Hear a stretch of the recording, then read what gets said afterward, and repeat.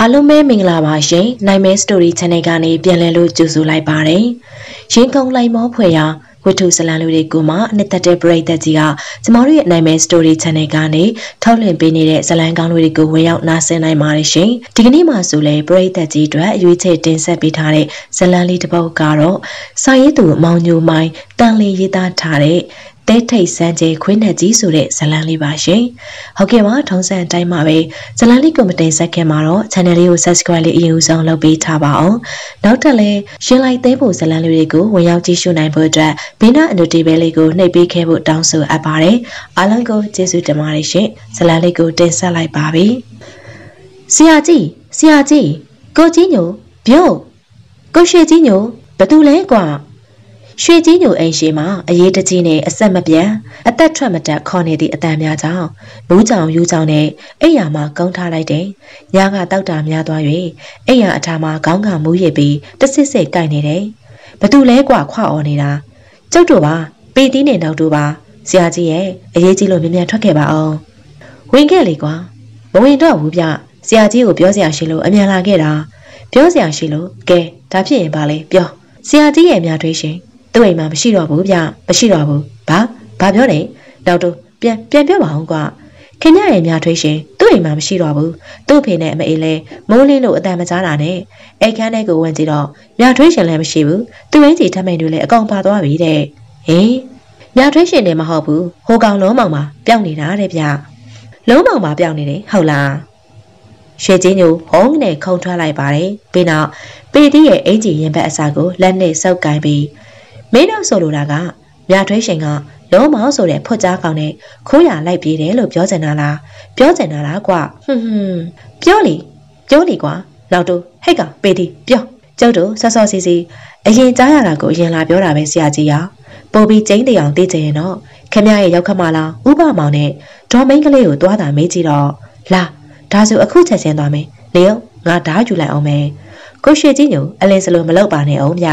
ဓာတ်နဲ့ချက်ချင်းရှေးရမယ့်အချိန်မဟုတ်သေးဘူးစောက်အောင်တိကျအောင်ခေါင်းလွန်အောင်စုံစမ်းမေးမြန်းပါအောင်မြထွေးရှင်ကိုလုံးမောင်ခိုးပြေးတာမှန်တယ်ဆိုမှခင်ဗျားကြိုက်တယ်လို့စီစဉ်အခုအရေးကြီးတာကဒီတဲ့မှတ်မမှန်သိချအောင်သွားမရမယ်အေးမင်းပြောတာမှန်တယ်နောက်တူလာသွားကြမယ်ငါထင်တဲ့အတိုင်းများဟုတ်နေလို့ကတော့လားကွာရွှေကြီးညိုကွာတညိုတည်းရှိတယ်တွေ့ကြမယ်ဟေ့ မြထွေးရှင်တို့ခြံဝိုင်းထဲမှာအိမ်နီးနာချင်းအချို့နဲ့သူတို့ဆွေမျိုးအချို့ဝင်းထွက်နေသည်ကိုလမ်းမြင်နေရတယ်။အိမ်နီးနာချင်းများကစပင်းဆုပ်ဖွာမျက်ချီတွဲလဲပစိုးတူတူအယမ်းနံတထောင်ထောင်နဲ့ဒေါသမောင်းတင်ဝင်လာသည့်ရွှေကြီးညိုနှင့်အဖော်နှစ်ဦးကိုမြင်ကြသောအခါအသာကောင်းရှု၍ပြန်လှည့်ထွက်လာလိုက်ကြတယ်။ဦးလေးပါမောင်ဦးလေးပါမောင်ရှိသလားရှိရှိတယ်မောင်ကြီးညိုလားလာကွယ်အိမ်ထဲမှာဦးပါမောင်ရဲ့မိန်းမဒေါ်မင်းကလေးကို ရှိတ်ငိုလျက်သားတွေ့ရတယ်ရွှေကြီးညိုတို့ကိုမြင်ရတော့ဒေါ်မိန်ကလေးကပိုရိရှိုက်ကရင်ကိုထွေ၍ငိုတယ်။ဥပမောင်ကအိမ်ပေါ်၌လမ်းလျှောင်ရင်တောက်တခက်ခက်ဖြစ်နေပါတယ်။ဟိုဟိုများထွေးရှင်အိမ်မှာမရှိတော့ဘူး။အဲ့ဒါဟုတ်ဟုတ်သလားဦးလေးပါမောင်သူသူဘယ်ကိုသွားတာလဲဟင်မသိဘူးအဝတ်အစားတွေကုန်ယူသွားတာပဲသိရတယ်။ဟိုကောင်လုံးမောင်ရောလုံးမောင်လည်းမရှိဘူး။ဟိုနားဒီနာစုံစမ်းမေးမြန်းကြည့်ပြီလားဦးလေးပါမောင် ခွေးမအမိုက်မလူလောက်မလောက်ပဲခွေးလောက်ကိုလှုပ်သွားတာစုံစမ်းပြီးပြီဟိုကောင်တရေပေါ်အိတ်တရေနာစာဒရိတ်ဆန်ကောင်နဲ့လိုက်ပြေးတာတဲ့ဟွန်းဒင်းတို့များဒီတသက်တေကန်းရှင်ကန်းပြက်ပဲမတတ်မရရင်မိုင်ရိုင်းစုပ်ပက်လိုက်တဲ့ကောင်နဲ့ဟေ့ပေသီးနဲ့နောက်တော့အချိန်ရှိသေးတယ်လိုက်ကြစို့မောင်မောင်ရွှေကြီးညိုရွှေကြီးညိုဥပမောင်ကနောက်မှလမ်း၍အောက်ခေါ်တယ်ရွှေကြီးညိုဒေါသထွက်ရင်နာလုံးလာ၍လှည့်မကြည့်ဒီကိစ္စဒင်းတို့မိဘများညံ့လို့ဖြစ်ရသည့်ကိစ္စ ခြေလန်းကျဲကြီးများနဲ့ချောင်းဝိုင်းထဲမှထွက်လိုက်ကြတယ်။သူ့ရင်သည်ငရဲဥပွက်တကဲ့သို့စူလောင်ပူလောင်နေပြီးအသေးနှလုံးများငလင်းလှုပ်နေပြီးသူ့နာကိုတစ်ချက်ကလေးမှလှဲ့လို့မကြည့်အိမ်ရှိရာသို့ဒေါကြီးမောကြီးပြန်လာခဲ့လိုက်တယ်။တင်းနောက်အိယာအောင်မှတမြောင်ကိုဆွဲထုတ်လိုက်ပြီးသူ့ရဲ့ခါးကြားမှာထွေအင်ဂျီနဲ့လူမမြင်အောင်ဖုံးလိုက်သည်ကြံတချောင်းကိုပေသီးလက်ထဲသို့ထည့်လိုက်တယ်။ပေသီးကလည်းဘာလို့ကြမိကိုနားလဲတယ်။ချက်စုနှစ်ခွက်ကမိတောက်ပြီးသား နောက်လိုက်များရွှေကြီးညိုလမ်းပေးနေသည့်တမြန်ကိုစက္ကနဲ့လမ်းယူပြီးခါးနောက်မှာထိုးဖွက်လိုက်တယ်ပြီးနောက်သူတို့ဆရာရွှေကြီးညိုဥဆောင်ရနောက်မှစကားတစ်လုံးမှမပြောဘဲလိုက်ခဲ့ကြပါတော့တယ်ဓာတ်တဂီရီဘလူးလိုဒေါသကြေခဲ့ပြီတတာနောရခဘလူလိုရင်ခွဲနာကြခဲ့ပြီရင်ထဲမှာအချင်းမီးတောင်များမဆက်မကဲပေါက်ခွဲကတဝုံဝုံတစ်ချိန်ချိန်မြည်ဟီးနေပါတယ်သူကိုယ်တိုင်မထိရက်ခဲမတို့ရက်ခဲ လမ်းရင်တောင်ကြွေးမှဆိုလို့အဝေးကထီမိုးပြီးအရေးတကြီးကြီးစောင့်ကြည့်မျောလင်းခဲ့ရသည့်ချစ်ပန်းတဝင်သည်အခုတော့နေသိမ့်ခဲ့ပြီစေးလုံးကြီးနဲ့နေသည့်ရွာများကအရှိမချောင်းဆောင်အနောက်မြောက်မှစစ်ပြေကွင်အနောက်မှာတာဝအရှိတောင်မှတထေးကွင်ပလဲသုံးကဥစွာစစ်ပင်ကွင်းရွာသို့အလင်းလိုက်တယ်စစ်ပင်ကွင်းမှာရွှေကြီးညိုတို့တွေ့ပတ် လူမိုက်တန်ငယ်ရှိတယ်။တန်ငယ်သည်ရွှေကြီးညိုတို့၃ယောက်ကိုမြင်လိုက်တော့အိမ်ပေါ်မှာဝမ်းသာအားရပြေးဆင်းကြပြီးအရက်သွားဝယ်၍အိမ်ပေါ်မှာပြုစုတယ်။ဆော့ဆော့စီစီဘာအကြောင်းများပေါ်လာလို့လဲရွှေကြီးညိုမင်းစီလုံးကြီးရရွာကဥပမောင်တရင်ကလုံးမောင်ကိုတည်တယ်မဟုတ်လားတန်ငယ်သိပါတယ်ဟိုးအသားမဖြူမညူနဲ့မြောင်းများကဆိုတာဘာလားသူကခုဘာဖြစ်နေလို့လဲအဲ့ဒီလုံးမောင်ဆိုတဲ့ကောင်ညာမင်းတို့ရွာကိုလာသေးလားဒါတော့ငါတတိမထားမိဘူးရွှေချင်းညို မြထွေးရှင်ကမင်းသိပါတယ်နော်သူ့တော့မသိပဲနေမလားကွာအချောလာဥစ္စာပြီးတော့အဲဒီလိုပါမင်းနဲ့ထိမ်းများပေးစားဖို့လူကြီးချင်းစကားကမ်းလှမ်းထားတော့မရင်မရမသိမချဇနီးလောင်းလေးလေဘာလဲအခုသေးစားသွားပြီမို့ဖိတ်စာလာဖို့ခိုင်းတာလားလူမိုက်တန်ငယ်ကအရက်ကလေးဝင်လာပြီဆိုတော့လာရဲ့ချိန်တွေကိုမသိပဲကိုထင်ချိန်နဲ့ကိုပြောပြလိုက်ပါတယ်ဖိတ်စာလာဖို့ခိုင်းတာမဟုတ်ဘူးကွာလက်ပြနှုတ်ခိုင်းမလို့လက်ပြနှုတ်ခိုင်းမလို့ဘသူလက်ပြလဲပြော လုံးမောင်ဆိုတဲ့ကောင်ရဲ့လက်ပြပဲလုံးမောင်နေပါအောင်မင်းနဲ့လုံးမောင်ဘာရန်ညိုးရန်ဆိုင်များရှိနေလို့လဲရွှေကြီးညိုရမောင်ရင်ဟာကလည်းဒီကောင်ငါနဲ့ကြောင်းလန်းထားတဲ့မြထွေးရှင်ကိုဖျောင်းယောင်းသွေးဆောင်ခေါ်သွားလို့ပဲဟေးဒီကောင်ကရာဇဝေအိုးဒုံနဲ့ထိုးတာပါလားဒါဆိုနေအောင်ငါခုချက်ချင်းစုံစမ်းခိုင်းလိုက်မယ်ဟေးချက်ကြီးနဲ့မြမောင်ခေါ်လာဆရာတိုင်ငယ်အေးလာကြအောင်ပြောင်းဆရာတိုင်ငယ်ကျောက်တို့ဘာလုပ်ပေးရမလဲမင်းတို့နေအောင်ရွာထဲကိုသွား စင်းလုံးကြီးကလောမောင်ဆိုတဲ့အကောင်နဲ့ညာထွေးရှင်ဆိုတဲ့မိမလာတူညဒီပါကိုလာကြသလားစုံစမ်းရှိရင်ရှိတဲ့အိမ်ကိုအသေးချာမှတ်ခဲ့မရှိလို့ထွက်သွားပြီဆိုရင်လည်းဘယ်ကိုသွားတယ်ဆိုတာအသေးချာမေးခဲ့သွားမြန်မြန်လူမိုက်တန်ကဲကတပည့်နှစ်ဦးကိုအရက်တစ်ခွက်စီတိုက်လိုက်တယ်ချက်ကြီးနေများမှာအရက်ကိုတစ်ချိန်တူမောချတောက်လိုက်ပြီးစစ်ပင်ကိုညာတဲ့သူတုတ်ချီတင်ဝင်သွားကြတယ်တန်ကဲကဖြစ်ချောင်းကုံစင်ကိုမေးတဲ့အတွက်ရွှေကြီးညိုလောစုံလက်တန်နှောကငိုချင်းပါချတယ် မင်းစဉ်းစားကြည့်စမ်းတန်ခဲရမြထွေးရှင်တဲ့ကနဲ့လူကြီးချင်းကန့်လန့်ပြီးတနေ့ပေးစားကြဖို့စီစဉ်ထားတာရက်သိရွာသိပါကွာဒီရက်ဒီရွာလည်းမဟုတ်ဘူးဟိုရွာဒီရွာပါအသေးပါအေးမင်းတို့သိတဲ့အတိုင်းငါ6ပြားတပြားပဲကောင်မဟုတ်ဘူးငဆွေငပွေဖွတ်ကြားမဟုတ်ဘူးတထေးသားပါရွှေတင်းကားကိုထွေခင်းကစားနိုင်တဲ့ကောင်ပါနာမည်တစ်လုံးနဲ့နေတဲ့ကောင်ဒါဟုတ်ဒီမိမဥပြစ်ခါပြူပြီးဘာမဟုတ်တဲ့ဘယ်ကအကောင်မှမသိတဲ့ ရေမျောကန်းတဲ့ဆွေးမရှိမျိုးမရှိတကောင်ချက်တရင်ငါနဲ့လိုက်ပြေးရတယ်လို့ကွာရင်နာလိုက်တာတိုင်ခဲ့ရငါရင်နာလုံးလို့ပါရွှေကြီးညိုခန်းစားချက်တွေပောက်ကွဲပြီးဒေါသမောင်းတိုင်းထန်လာတယ်ဒုတိယမြောက်ရက်ခွက်ကိုပောက်ခွဲလိုက်ပြန်တယ်လူမိုက်တိုင်ခဲ့ပြီးမျက်ခုံးတွန့်လာခဲ့ရတယ်အိမ်ပေါ်မှာလည်းအရက်တောက်ဖန်ခွက်အကွက်နဲ့အရက်များဖိတ်စင်ကျဲပြန်နေတယ်စိတ်ကိုထဲမှာတငယ်ချင်းဟာအချိန်ရနိုင်ပါသေးတယ်အချိန်ဘာအချိန်လဲ ကျွေးပြီးမှပန်ရမယ့်အချိန်လားကွာခုနေမေမြထွေးရှင်ကိုပြန်ရရင်မယူဘူးတယ်လားပြောอืมအကျွေပန်းမိမယ်ရွှေနှန်းတော်ထိုက်အောင်လုပ်ရမှာပေါ့ဒီမိန်းကလေးကိုသူ့တသက်တဘဝမှာတခါအဲ့ဒီတခါမှာနှလွှာပေါင်းမှာတရွက်ဆွဲတော်ရက်လို့သူ့ချစ်သည်တတ်မှတ်တယ်သူမမလွယ်၍ရှင်ထဲမှာအစားထိုးရမည်သူနှလုံးသွင်းရမည်သူမရှိအခုတော့ အညုတ်တလူလူတက်ဖို့ဆင်ထိုးပြီးစောင့်ကြည့်ခဲ့ရသည် အလာပန်းတဝင့်မရိမဝါမချောက်ပဲညှို့၍ကြွေးခဲ့ရပြီငါမေးတာပြောလေကွာမင်းအခုပြန်ရရင်ယူမလားသူကငါ့ဘဝမှာစားထိုးမရနိုင်တဲ့အနိုင်မဲ့ချစ်သူပါတိုင်ခဲ့ရဒါဆိုပြီးတော့ပေါ့ကွာမျက်ရည်ကျမနေစမ်းပါနဲ့ချထို့စဉ်စုံစမ်းခိုင်းလိုက်သည်ချက်ကြီးနဲ့မြမောင်တို့ချွေးတန်ရွှေရွှေနဲ့အိမ်မော်တက်လာကြပါတယ်ဘာထုလဲချက်ကြီးရွာထဲမှာတော့ညာလူစိ ညအိတ်အဝင်အတွက်မရှိဘူးလို့စိန်ကောင်ကိုမက်ကြီးကပြောတယ်ဒါပေမဲ့ဒါပေမဲ့ဘာဖြစ်လဲချက်ကြီးကမြန်မြန်ပြောစမ်းပါဟာညောင်ပေါင်းလိုက်ကလဲတစီနဲ့လူ၃ယောက်ဖြစ်သွားတာကတော့အချို့ကမြင်လိုက်တယ်တဲ့လဲတစီနဲ့လူ၃ယောက်ဘသူတွေလဲလို့လက်မမေ့ကြဘူးလားမင်းရဲ့ဆရာတိုင်ကရဲ့အမောင်နဲ့လူလုံးမတဲကွဲဘူးတဲ့ဘယ်သူပဲဝါမှလည်းမသိလိုက်ကြဘူးခဝေးဝေးကဖြတ်သွားကြတာအရှိဆူးဆူးလိုပဲသိရတယ်ဒါပဲလားဟုတ်ကဲ့အေကန်နာ ဒီလဲကလုံးမောင်တို့လဲမြလာရွှေချင်းညိုအရှိဆူးဆူးအရှိဆူးဆူးဆိုတော့တထေးကွင်းတို့ပလဲတို့လည်းဖြစ်နိုင်တာပဲလဲနဲ့သွားရင်တော့ဟုတ်တာပေါ့လှေနဲ့သွားရှင်းနဲ့သွားရင်ဘယ်လိုလုပ်မလဲလှေမော်တော်နဲ့ကူးမယ်ဆိုရင်ငပနဲ့ကလဝဲကနေလဲပြီးပကိုးမြစ်ကိုဖြတ်မှဟိုးရန်ကုန်ကမ်းဘက်ကိုရောက်မှဒီကောင်ဒီလောက်လည်းမလဲပါဘူးကွာငါတို့တထေးခွင်းနဲ့ပလဲကိုလိုက်မယ်ဒီမှာတန်ခဲ့မင်းငါ့ကိုတခုတော့ကိုကြီးကွာမင်းနဲ့ငါပြောစရာလူသေးလို့လားရွှေကြီးညိုရ အခုလေငါလက်တွေ့မင်းတို့ကိုကိုကြီးနေတာပဲမဟုတ်လားဘာဆက်လုပ်ပြရမလဲပြောရွှေကြီးညိုကစစ်ပင်ကင်းရွာသားလူမိုက်တန်ခဲ့ရဲ့နားဝသို့ကဲ၍တူတူကလေးပြောလိုက်ပါတယ်တန်ငယ်ကြားလိုက်ရသည့်စကားကြောင့်ပခုံးတွန့်သွားခဲ့ရတယ်။သို့တော်နောက်ဆက်တွဲမလုံးပေးစကလုံးအချို့ကြောင့်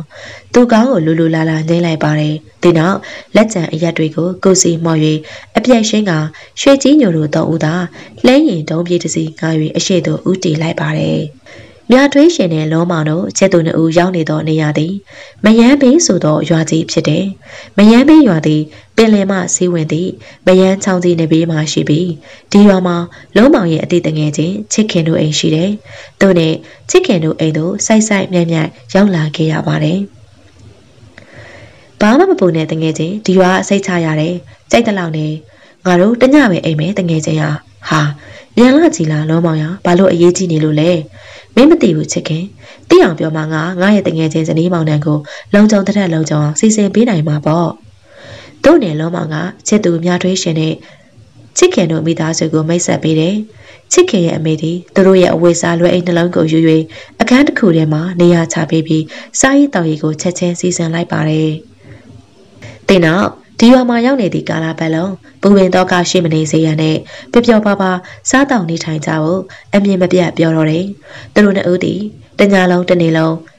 လဲကြုံစီလဲကြုံငှား၍ခရီးပြေးနေကြရတဲ့အတွက်တကူလုံးကန်ရိုက်ထူထားတဲ့ကဲ့သို့အသားများအယိုးများနာကျင်ကြိုက်ခဲလို့နေပါတယ်။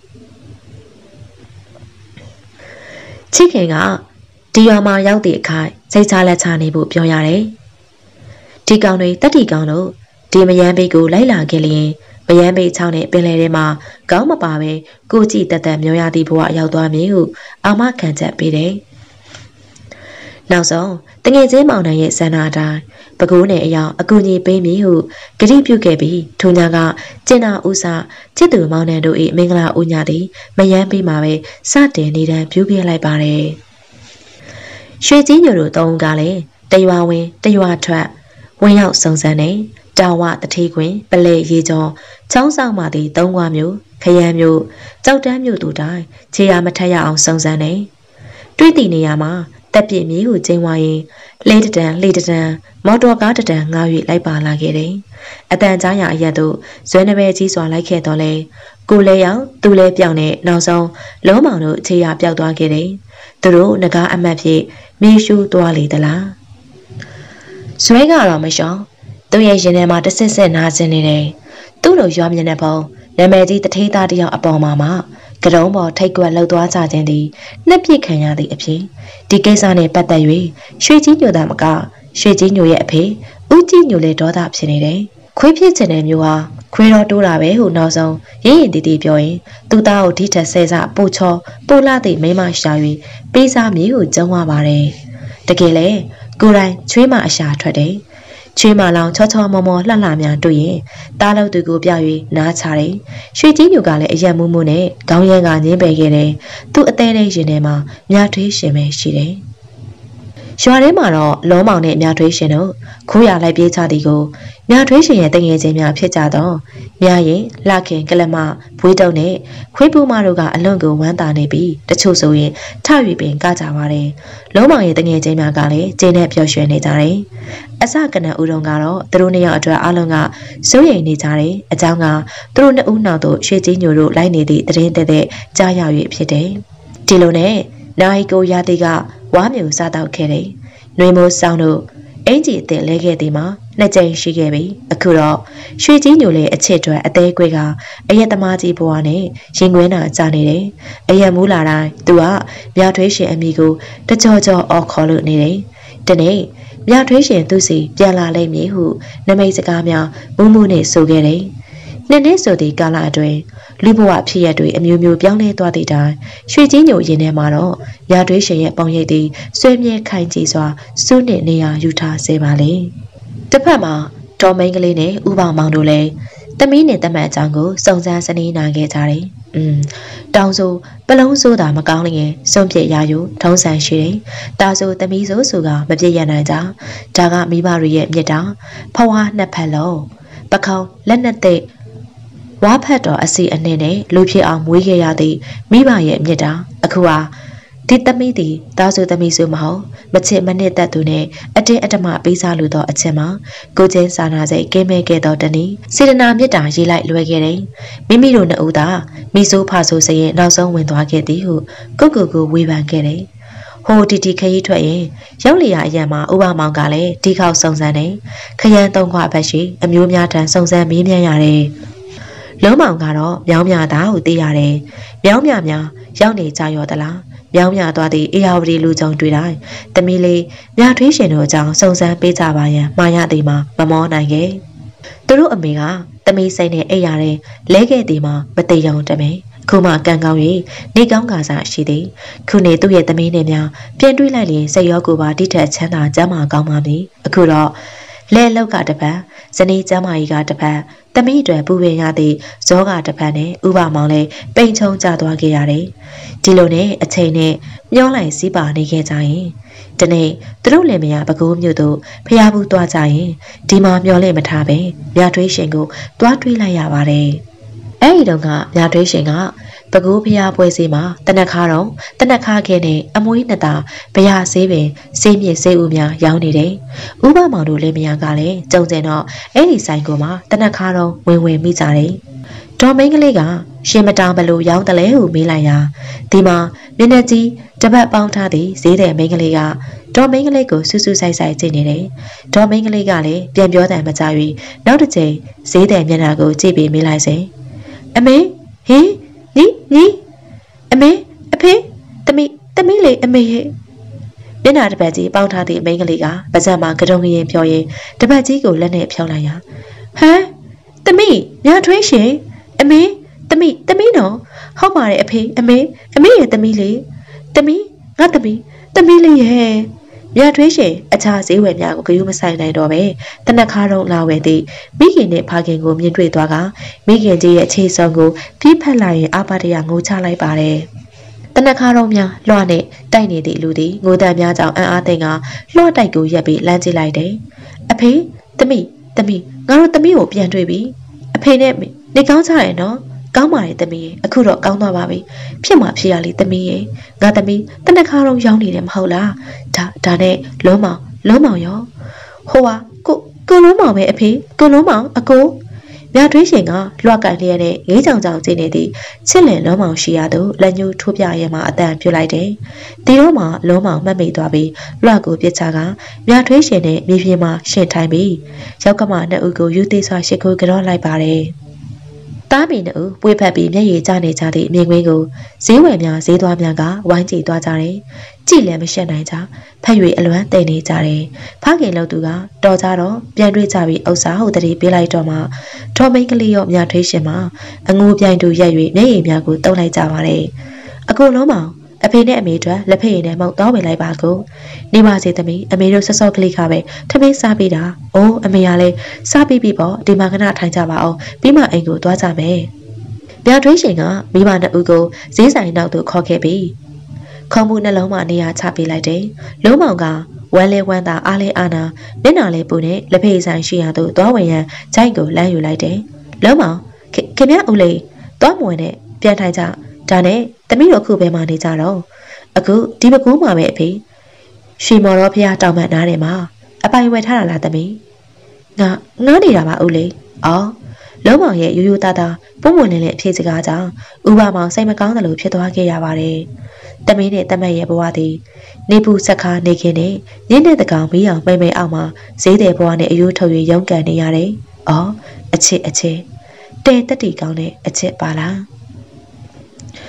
ကဲသမီးအမေတို့ရှေရှေဝေးမပြောချင်ဘူးသမီးတို့ကိုလိုက်ရှာနေရလဲကြာလာပြီအခုပြန်အမေတို့နဲ့ပြန်လိုက်ခဲ့မလားပြောရှင်မိခင်လောက်သူရဲ့နှုတ်ဖျားမှာစကားကြောင်မြထွေးရှင်အလုံးအော်သွားခဲ့ရပါတယ်အမေတို့ဘဝကိုမျက်နှာမပြရင်အောင်အကျိုးနဲ့အောင်ရက်ဆက်ခဲ့သည့်သမီးပေါ်မအေတို့မမုန်းရက်သေးပါအခုအမေတို့နဲ့ပြန်လိုက်ခဲ့တဲ့သူမတယောက်ထဲလားသူမလုံးမောင်ရဲ့တုံလုံးအားငယ်နေသောမျက်နှာကိုလှမ်းကြည့်ပါတယ်ဟုတ်အကူအကူလုံးမောင် အကူလုံးမောင်ရောရင်အိုးသမီးရလေခေါ်မတော့သမီးတယောက်တည်းခေါ်ပါမလားမောင်လုံးမောင်ရောလိုက်ခဲ့ရမှာပေါ့တကယ်တကယ်ပြောနေတာပါသမီးရဲ့အိုးဝမ်းဝမ်းသာလိုက်တာအမေရဲ့သူမရဲ့မိခင်ကြီးကိုတအားဖက်ရင်မိခင်ရဲ့ဘာပြင်ကိုဘဲပြန်ကြပြန်နမ်းပြစ်လိုက်ပါတယ်အမေသည်ချစ်သမီးရဲ့အနမ်းတွေကိုမျက်ရည်ဆူဆူရွှဲရွှဲနဲ့ခံယူရင်ပီတိဖြစ်နေတယ်။လုံးမောင်ကိုတိတ်လိုက်တော့အကူဟုလှမ်းပြောလိုက်ပါတယ်။ဟာ မြတွင်းရှင်တို့လုံးမောင်တို့အစောကြီးရှိသေးတယ်စိုင်သိမ့်ပြီလား။စိုင်နီနာချင်းများကထုတ်ပိုးသိမ့်စိနေသည့်လုံးမောင်တို့ရဲ့လှုပ်ရှားမှုကိုကြည့်ပြီးမေးကြမြန်းကြတယ်။အေးဗျာသိမ့်ပြီပြုဘလို့ဖြစ်လို့အစောကြီးသိမ့်ရတာတော့ကိုလုံးမောင်ကြီးရဲ့မမဲတူကြီးဒါကျမရဲ့အဖေနဲ့အမေလေဟေးဒါမြတွင်းရှင်ရဲ့အဖေနဲ့အမေဟုတ်တယ်တူမတို့ရဲ့ဒါကြောင့်ဆော့ဆော့တော့ကငိုကြရီကြဖြစ်နေကြတာကိုမြတွင်းရှင်တော့ပြောနေမှာပဲဟေးကိုလဲမောင်ကြီးရှင်ရောအဟဲ အခုမြတွင်းရှင်တို့အပြီးလာခေါ်တာလားအေးကွယ်တူမရဲ့ဟုတ်တော့ကျုပ်တို့တော့ပြင်းပြီးတော့ကြရိတ်ခဲ့ပါပြီတော့ကိုလုံးမောင်တို့မြထွေးရှင်တို့ကလည်းလိုက်သွားတော့မှာပေါ့နော်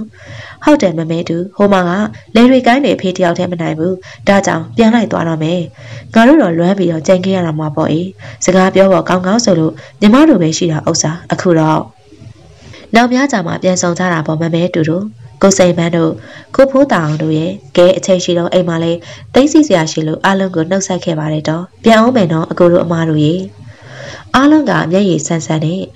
ရောက်လာဝိုင်းဖွဲ့နှုတ်ဆက်ကြပါတယ်။သူတို့အားလုံးကိုလက်ပြနှုတ်ဆက်ပြီးငားနေသည့်အိမ်ရှင်ရှိရာမိသားစုပြန်လာခဲ့လိုက်တယ်။ကျင်းမြောက်သည့်လမ်းကျင်လမ်းသွယ်များကိုကြွေးကြော်ပြီးတဲ့နောက်သူတို့ခက်ခုတ်ခုတ်အိမ်နှလုံးရှိရာသို့ရောက်လာခဲ့ကြပါတယ်။အဖေနဲ့အမေကို အိမ်ရှိကနာထိုင်ခိုင်းပြီးစားအိုးစားခွက်အနေကျင်းနဲ့စောင်းကောင်းအောင်ချင်အောင်တွေကိုထုတ်ပိုးသိမ့်လိုက်တယ်။ဖာတော့ထုတ်ကိုမြထွေးရှင်ကရွက်ရွေလုံးမောင်ကပင်ညာစိုင်းတပုတ်နဲ့ထမ်းရင်ရေစိတ်ရှိရာသို့ဆင်းလာလိုက်ကြပါတယ်။ရွှေကြီးညိုတုံရင်သောလက်နဲ့အရက်ခွက်ကိုပါးပြန်ရောက်တိတ်ပြီးခွက်ကနေမျောချလိုက်ပါတယ်။လူတကူလုံးနဲ့ချွေးနဲ့အရက်နဲ့ကြီးနံနဲ့နှံဟောင်းနေတယ်။ဆရာကြီးဆရာကြီးအေးဆရာကြီးညိုဆရာကြီးညိုဘသူလဲကွာမ င်းတို့ပထွေးနာမည်ကိုတကြောကြောခေါ်နေရအောင်ဟေ့ဘာလဲတိတ်မလို့လားကျုပ်တို့ပါဆရာကြီးဟာပေသီးနဲ့နောက်တို့ပါလိုက်ရှာလိုက်ရတာဘာကိစ္စပေါ်လာပြန်မလဲမင်းတို့နှစ်ယောက်ကပြဿနာကောင်းတွေကွာတကယ်ပြဿနာကောင်းတွေဆရာကြီးကိုဝမ်းသာစရာစကားပြောစရာရှိလို့ပါဟေးဝမ်းသာစရာစကားဟုတ်လားငါ့ဘဝမှာဝမ်းသာစရာဘာမှမရှိတော့ဘူးတော်တော်မင်းတို့မျက်နှာငါမကြည့်ချင်ဘူးထွက်သွားတကယ်ဝမ်းသာစရာဖြင့်ဆရာကြီးကျုပ်တို့နှစ်ယောက်ကိုဒီနေ့အမှုတိုက်ပါလားပြောပြော ဝမ်းသာစရာတကယ်ဖြစ်ရင်တိုက်မယ်ပြောတော့တိတ်ရှာမရှိနဲ့ကြားလားစိတ်ချပါဆရာကြီးဟာဒီမှာဆရာကြီးဆရာကြီးရဲ့မြားထွေးရှင်ဆိုတဲ့ကောင်မလေးရဲ့မျက်နှာကိုအခုနေအနည်းကမြင်ရရင်ဘယ်လိုနေမလဲဟင်ဖွိသူ့ရဲ့မျက်နှာကိုအခုနေအနည်းကမြင်လိုက်ရရင်ဟုတ်လားဖိုးလာမင်းလိုချင်တဲ့ကလေးလိုပဲဟာတကယ်သာမြင်လိုက်ရရင်ရွှေကြီးညဝမ်းသာလို့ဆိုပြီးယူပြီးယူပြီးစိတ်ချမကြခင်ဆရာကြီးယူတော့မယ်ဒီမှာ ဆရာကြီးရဲ့ခင်ဗျားရဲ့အချစ်တော်မြထွေးရှင်အခုဆော့ဆော့ကပဲရွာကိုပြန်ရောက်နေပြီဗျဘာဘာပြောလဲရွှေကြီးညိုမမျော်လင့်သောစကားကိုနားနဲ့ဆက်ဆက်ကြားလိုက်ရတဲ့အခါတောင်မြေတန်လန်အယောခတ်ကိုဝက်ကနေပြန်ချရင်ပေတီးရဲ့မျက်နှာအနီးကဆွဲယူလိုက်ပြီးပေတီးခုနကစကားအပီပင်ပြန်ပြောစမ်းမြထွေးရှင်သူ့အိမ်ပြန်ရောက်နေပြီဆရာကြီးရဲ့မြထွေးရှင်သူ့အိမ်ပြန်ရောက်နေပြီဟုတ်ရဲ့လားမင်းမင်းတို့ ငါ့ကိုနောက်ပြောင်နေကြတာလားဖះစုမိုးစုဖြစ်အရက်နဲ့အန်ဘတ်စုတေးရပါစေဗျာမယုံရင်နောက်တော့ကိုသာမေးကြည့်တော့ဟုတ်တယ်ဆရာကြီးရဲ့ကျောက်တို့ကမျက်စိနဲ့တအပ်တွေ့ခဲ့ရတယ်အခုသူတို့အိမ်မှာအိမ်မော်တငယ်ချင်းတွေနဲ့တယုံယုံချက်ပြုတ်စားတောက်ကြလို့ပေါ့ဒီစကားကိုအမှန်ကန်ထောက်ခံချက်များနဲ့ကြားလိုက်ရတော့ရွှေကြီးညိုအန်ကိုတင်းတင်းကြိတ်လိုက်ပြီမြထွေးရှင်ပြန်ရောက်နေပြီမြထွေးရှင်ပြန်ရောက်နေပြီငါရဲ့မေးသေးတာလေးပြန်ရောက်နေပြီ ဒါငါဘဝအတွက်မင်္ဂလာစကားပဲကြက်တည်အရှိဆုံးစကားပဲဟေ့ဟေ့ကြီးစိန်ဗျာကိုရွှေကြီးညိုဒီနေ့တနေ့လုံးတညလုံးငါကောင်တကောင်ကြိုက်တဲ့လောက်တောက်ပါစေဘာအမြင့်ကြံသေးလဲငချင်းကြောက်ကြော်ငရှင့်ကြော်နဲ့ဖားသားကြံပါသေးတယ်ရှိတာအကောင်ချဟုတ်ဟုတ်ကဲ့အရက်ဆိုင်ရှင်ကြီးစိန်ကအရက်နောက်ထပ်တပလင်းနဲ့အမီးတွေကိုလာရောက်ချပေးပါတယ်သူတို့တွေဒူးနံပြီးပရိုင်မွေ မုတ်စိန်မွေးများကိုပုတ်တက်ကတပြုံးပြုံနဲ့စိတ်ကူးတွေရင်နေတယ်သူတို့စီဟာရွှေကြီးညိုရဲ့မျက်နှာကိုကြည့်ပြီးအကျိုးဆောင်ရကြိုးနဲ့လို့တောက်လို့ဂရင်းတွေ့နေကြတယ်။သူတို့စီဟာဒီအချစ်ကြောင့်ဘဝကိုပစ္စလက်ခတ်ထားကအယက်သမားဘဝအလုံးလုံးဖြစ်ခဲ့ရတယ်။အချစ်တဲ့ကိုပြောင်းရှာစမ်းမှာဆရာကြီးရဟုအတန်တန်တိုက်တွန်းခဲ့ကြတော့လေ။ဆရာရဲ့အဖေကုန်းရှိန်နေရှိန်နဲ့ ကြက်ရမိမယူလို့ရပါတယ်ဗျာဟုနားချခဲ့သည့်တိုင်မျောလင့်ချက်မရှိတော့သည့်မြထွေးရှင်ကိုပဲအယူမူတန်းတိုင်ရင်အသေးကွယ်အယက်သမားဘဝသူတို့ဆရာရက်ပေါင်းများစွာခံယူခဲ့ရသည်ကိုကြည့်၍အံ့ဩခဲ့ရတယ်။ဒါနဲ့ဟိုကောင်လုံးမောင်ဆိုတဲ့ကောင်ရောပါတလားပါတာပေါ့ဗျာ။လုံးမောင်ဆိုသည့်အတန်ကိုကြားရတဲ့အခါရွှေကြီးညိုဖွေးနဲ့တစ်ချက်ထွေးလိုက်ပြီးတောက်တစ်ချက်ကိုခတ်ခါတထင်ကြောများ လက်မောင်းကြောတွေမီးကြောတွေထောင်ရီထလာခဲ့ပြီးခါးကြားမှာပစ္စည်းကိုလက်နဲ့စမ်းတက်လိုက်ပြီးလုံးမောင်လုံးမောင်ငါချစ်ကိုသွေးဆောင်ဖျားရအောင်လိန်လဲလှည့်ဖျားယူသွားတဲ့ကောင်ဆရာကြီးအဲ့ဒီကိစ္စဘယ်လိုစီစဉ်ကြမလဲအရှင်လက်လက်တတိလစ်နေသလားလို့ဆရာကြီးရဲ့ကိုယ်စိတ်ကိုထိမ့်ဆက်မအောင်ခင်ဗျရဲ့ချစ်ကလေးလေးအနီးမှာရောက်နေပါပြီဘယ်လိုစီစဉ်မလဲဘာဆက်လုပ်မလဲဒါသာစဉ်းစားဆုံးဖြတ်ပါအချိန်တွေကအတော့လွန်ခဲ့ပြီပဲဒါဖြင့်ဆရာကြီးက ခြေဦးသူလေးကိုမေးနိုင်ပြီပေါ့ဘယ်မေးနိုင်ပါမလဲတပည့်ကြီးဟာအေကြဝိပုံနာဟာသူ့ရဲ့နဖူကအမာရုပ်ကိုမြင်တိုင်းလက်နဲ့ဆမ်းမိတိုင်းမောတထားကိုအညှိုးမပြေအစင်တတိရနေတယ်လို့ပေါ့ရွှေကြီးညိုလည်းအသိနှလုံးကအတမာကြီးပန်းကိုလက်နဲ့ဆမ်းမိတိုင်းအသက်ရှူလို့ခံစားရတိုင်းလုံးမောင်နဲ့မြထွေးရှင်ကိုအချိန်နဲ့မြတတိရနေတာပါဘာဆက်လုပ်ရမလဲဆိုတာကအချိန်ယူစဉ်းစားရမယ်ဒီကိစ္စချက်ချင်းအကြက်ကန်လိုက်ရင်ငါတို့လက်ချက်မှန်တရွာလုံးကသိသွားမယ် ဒီမှာပေတီးနဲ့နောက်တော့အလိမ်မသုံးกว่าအလိမ်မသုံးဒီကောင်နဲ့ကောင်မငါတို့တက်ကွင်းထဲကိုရောက်နေပြီအချိန်မရွေးစရင်ကိုရှင်းလို့ရတယ်မင်းတို့နဲ့အောင်နားလေသဘောပေါက်ဖို့ကငါဟာမြထွေးရှင်ကိုအသေးနဲ့အောင်ရင်ပွေအောင်ချစ်တယ်လုံးမောင်ကမြထွေးရှင်ကိုချစ်တာရဲ့အစာပေါင်းတရာငါပိုချစ်တယ်အဲ့ဒီချစ်တွက်ငါနှစ်နဲ့ချီပြီးခံစားဆောင်စားမျောလင့်ခဲ့ရတာတွေမြထွေးရှင်ကလေးဆယ်ယောက်အမေဖြစ်နေပါစေရွှေကြီးမျိုးက ချစ်နေမျက်နှိုးနေမှာပဲအေးငါရဲ့ယုံကြည်ချက်ထဲမှာတနေ့အများထွေးရှင်ငါမရဖြစ်ကိုဖြစ်စေရမယ်စိတ်ချတခုတော့ရှိတယ်ဘာလဲဆရာကြီး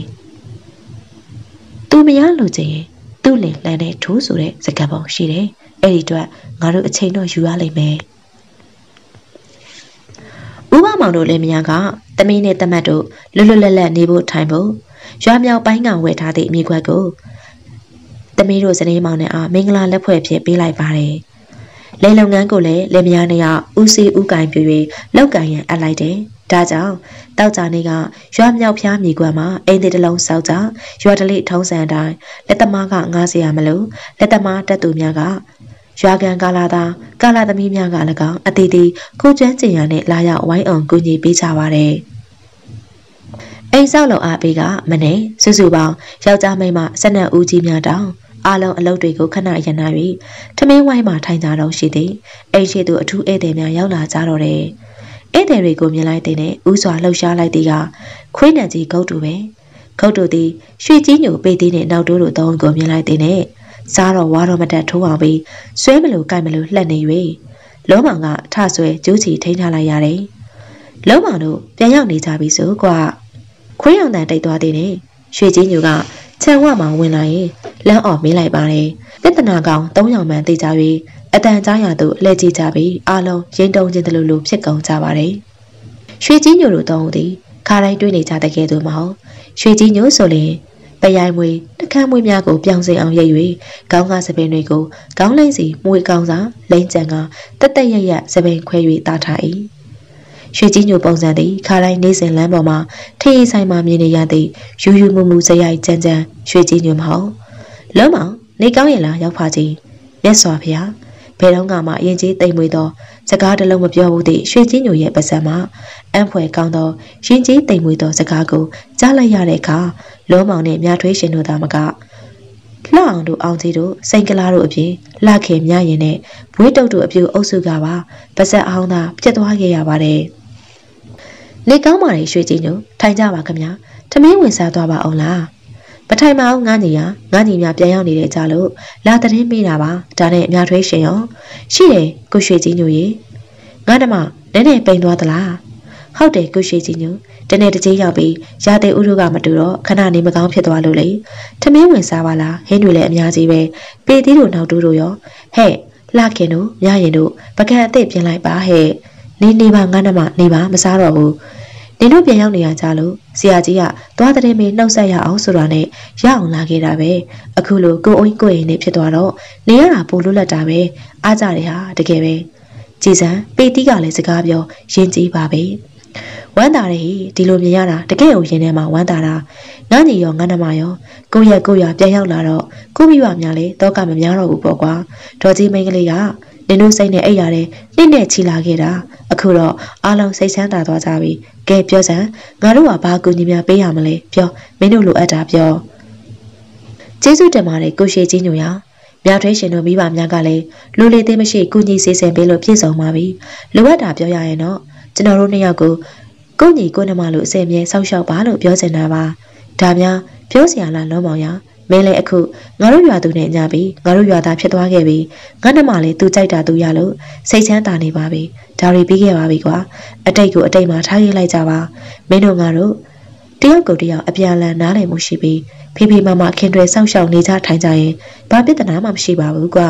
အခက်ခဲရှိရင်လည်းပြောအားနာစရာမလိုဘူးငါကူညီနိုင်တာအကောင်ကူညီမယ်ကဲကဲစားကြစားကြလှုပ်အားတော့ပေးခြင်းပါကွာသွားစရာလေးကလည်းရှိနေလို့လုံးမောင်ကြီးဟုတ်ကဲ့ ညထွေးရှင်နှမလေးရှင်းအကိုကြီးညိုသွားမယ်ကိုเจ้าမကြီးကိုလည်းဂရုဆိုင်နှမကြီးဟုတ်ကဲ့ကိုရင်နှွေးတောက်ပြီးမှသွားပါလားဒီမှာလက်ဖက်လဲတုံနေတဲ့ဥစ္စာမတောက်တော့ပါဘူးကအဖေဖုန်းကြီးเจ้าသွားနေလို့ငါတို့လည်းဖုန်းကြီးเจ้าကိုလိုက်သွားအောင်မယ်သွားပြီးလှအောင်နဲ့လှဆိုင်တို့ရေဟုတ်ကဲ့ကိုကြီးလှအောင်နဲ့လှဆိုင်တို့ကထမင်းဆိုင်ရင်တန်လန်မှာပလောပလောင်းတန်နဲ့ပြောလိုက်ပါတယ်ခွင်းနယ်ကြီးဂုတ်တူကကျိုးတန်းနဲ့ဝိနေရမှာ ရွှေကြီးညိုထွက်လာသည်ကိုမြင်လိုက်တဲ့နဲ့မတ်တက်ရွ၍ခုံခုံဟောင်းတော့တယ်။ပေသေးနဲ့နောက်တို့ခွင်းနယ်ကြီးရဲ့လှောက်ရှားမှုကိုကြည့်၍လန့်သွားကြတယ်။ရွှေကြီးညိုကသူ့ကိုရလွန်မုန်းတီးဖြစ်နေသည့်ခွင်းနယ်ကြီးဂုတ်တူအားလက်ဖြစ်တီး၍ချော်ရင်အားလုံးကိုလက်ပြကရွာလန့်အတိုင်းဖုန်ကြီးဆောင်ရှိရာသို့ရေမောင်တက်၍ထွက်သားကြပါတော့တယ်။ရွာထိပ်မှာအင်္ဂလိပ်စာပြီးတော့အိမ်တက်ပွဲလေးအသင့်အင့်လုပ်တယ်။ရွာဦးချောင်းဆရာတော်ပင်၍လဲစွန့်ကတ်တရားနာတယ်။ မင်္ဂလာဆုံးမဟုတ်တော့သည့်တိုင်အားလုံးကအတိမတ်ပြုစေခြင်းသည့်သဘောလေးလည်းပါဝင်အောင်အိမ်တက်ပရိနာအိတ်ခံတဲ့ပုံမျိုးကလေးလုပ်ခဲ့တယ်။မြောက်ထွေးရှင်ရဲ့တငယ်ချင်းများဖြစ်ကြတဲ့လာရင်တို့ကလည်းလာကြတယ်။ကိုလုံးမရဲ့တငယ်ချင်းမိတ်ဆွေများဖြစ်ကြတဲ့ပဲတီနဲ့ဘုဒ္ဓတို့လည်းလာကြတယ်။ရွာတွေကတက်ကြီးဝါကြီးရက်ဆွေရက်မျိုးများအားလုံးလာကြတယ်။ပြောရလေရွှေကြီးညိုသည်လူပါလူနံသူသည်သူ့ရဲ့ရင်မှန်ချက်အောင်မြင်ရေးအတွက် ပြုံးစားကြီးအကြမ်းလေးကိုမတုံးသည်ရှေးဥစွာအနုနီအရင်လေးကိုစတင်အသုံးပြုပါတယ်သူသည်လုံးမောင်လေးတဲ့သူဆင်းသွားချိန်အိမ်မှာမြထွေးရှင်တယောက်တည်းရှိနေသည့်အချိန်မျိုးကိုရွေးချယ်၍သွားလေလာလေလှုပ်လေရှိတယ်သူလာလေတိုင်းမြထွေးရှင်စိတ်ညစ်ရတယ်လဲနဲ့ချန်သည်အတော်တန်ဝေးပြီးနိုင်ဝက်ခန့်ကြအောင်ရှောင်းမအိမ်ကနေလဲကိုရောက်တယ် မြထွေးရှင်က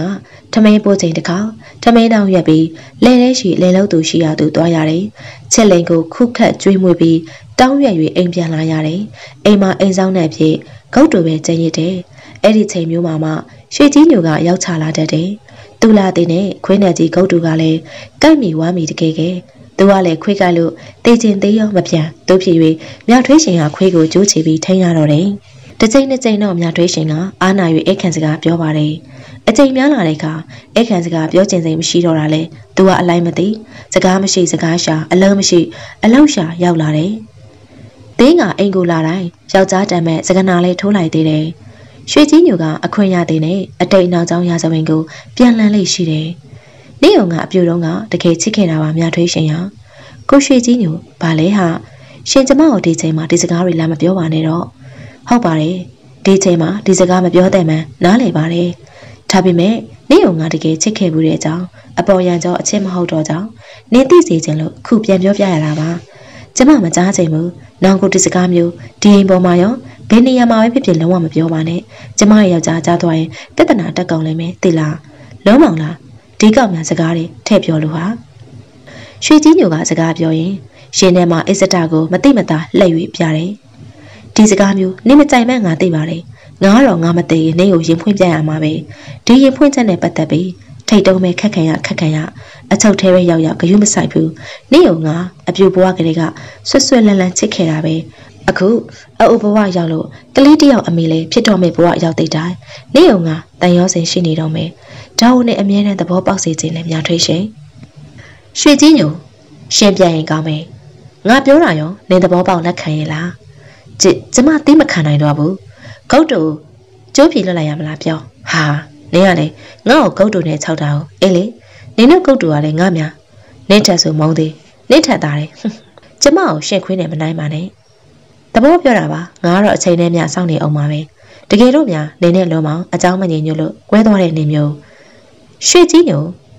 မြထွေးရှင်ကျုံရီအော်ရင်မှာအသားများဆက်ဆက်တုံလာပါတယ်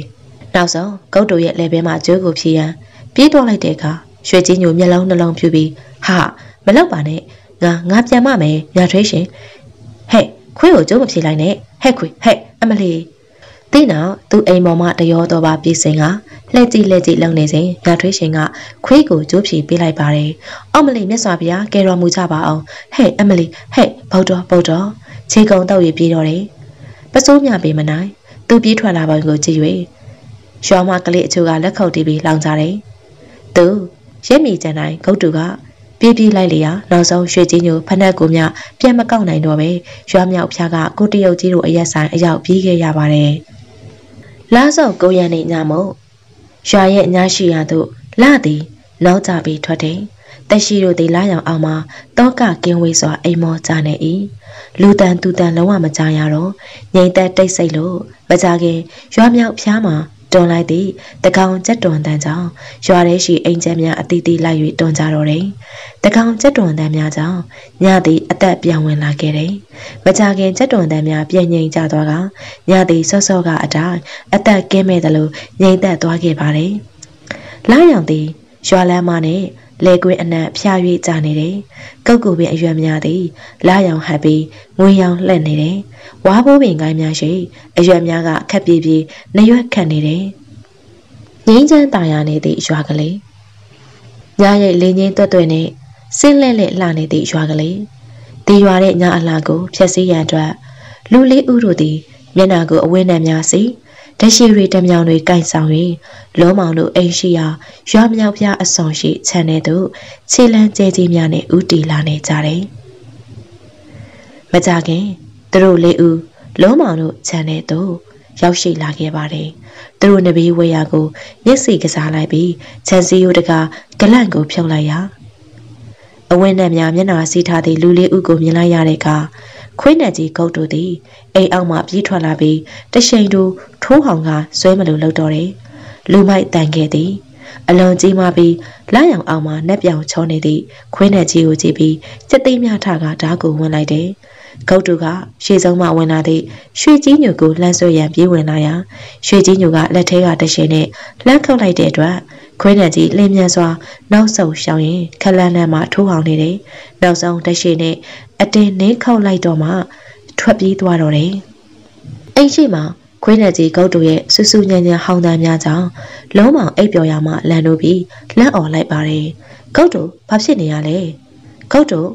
လုံးမောင်ကအိပ်ရာထဲမှာအတန်ပြုတ်လိုက်ပြန်တယ်။လုံးမောင်အတန်ကြောင့်အိပ်ပျော်နေသည့်အများထွေးရှင်လူးလိုရင်နိုးလာကအပြင်မှာအတန်မလန်တွေကိုနားဆွနေမိတယ်။ လုံးမောင်နိုးမလားဟဲ့။ပေတီးရပါဇက်ထဲမှာကွမ်းတင်းငုံပြီးအတန်ဖြတ်၍မေးလိုက်ရာဘသူလဲကွာအချိန်မတော်ဘာကိစ္စရှိလို့လဲ။ငါပါဟာလှအောင်တို့ပါမင်းရဲ့ရောက်ကမအဖိုးကြီးလေဖြတ်တယ်လို့ဖြစ်သွားလို့မင်းတို့လာခေါ်တာတကားဖွင့်မှာ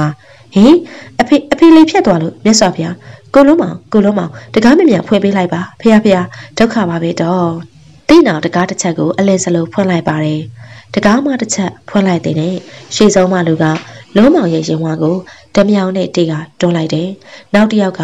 လုံးမောင်နောက်မှဖြတ်ကနေခေါဝင်လိုက်ပြီးလုံးမောင်ရဲ့လေဘင်းကိုလက်ပြန်နဲ့တိုင်၍ပါဇက်ကိုပိတ်ထားလိုက်ကလက်ပြန်ကျိုးနဲ့တုံးလိုက်ပါတယ်။ဟင်ရှီရှီတို့ဒါဘာတယောက်ကအတန်ထွက်နေသည့်မြထွေးရှင်ရဲ့ဘာကိုလက်ပြန်ရိုက်ချလိုက်တဲ့အတွက်မြထွေးရှင်ဘေးတိုက်လဲကျသွားတယ်။လဲကျရင်မှသူ့ရဲ့ယောက်ျားကိုဓာတ်နဲ့ထောက်ကျိုးနဲ့တုံရိုက်ပေါက်နေသည့်မြင်ကွင်းကြောင့်အော်ရန်ပြန်လိုက်စဉ်လူစိုးတယောက်ကပြေးဝင်လာပြီးပါဇက်ကိုလက်ကျန်းချင်းနဲ့ပိတ်လိုက်ပါတယ်။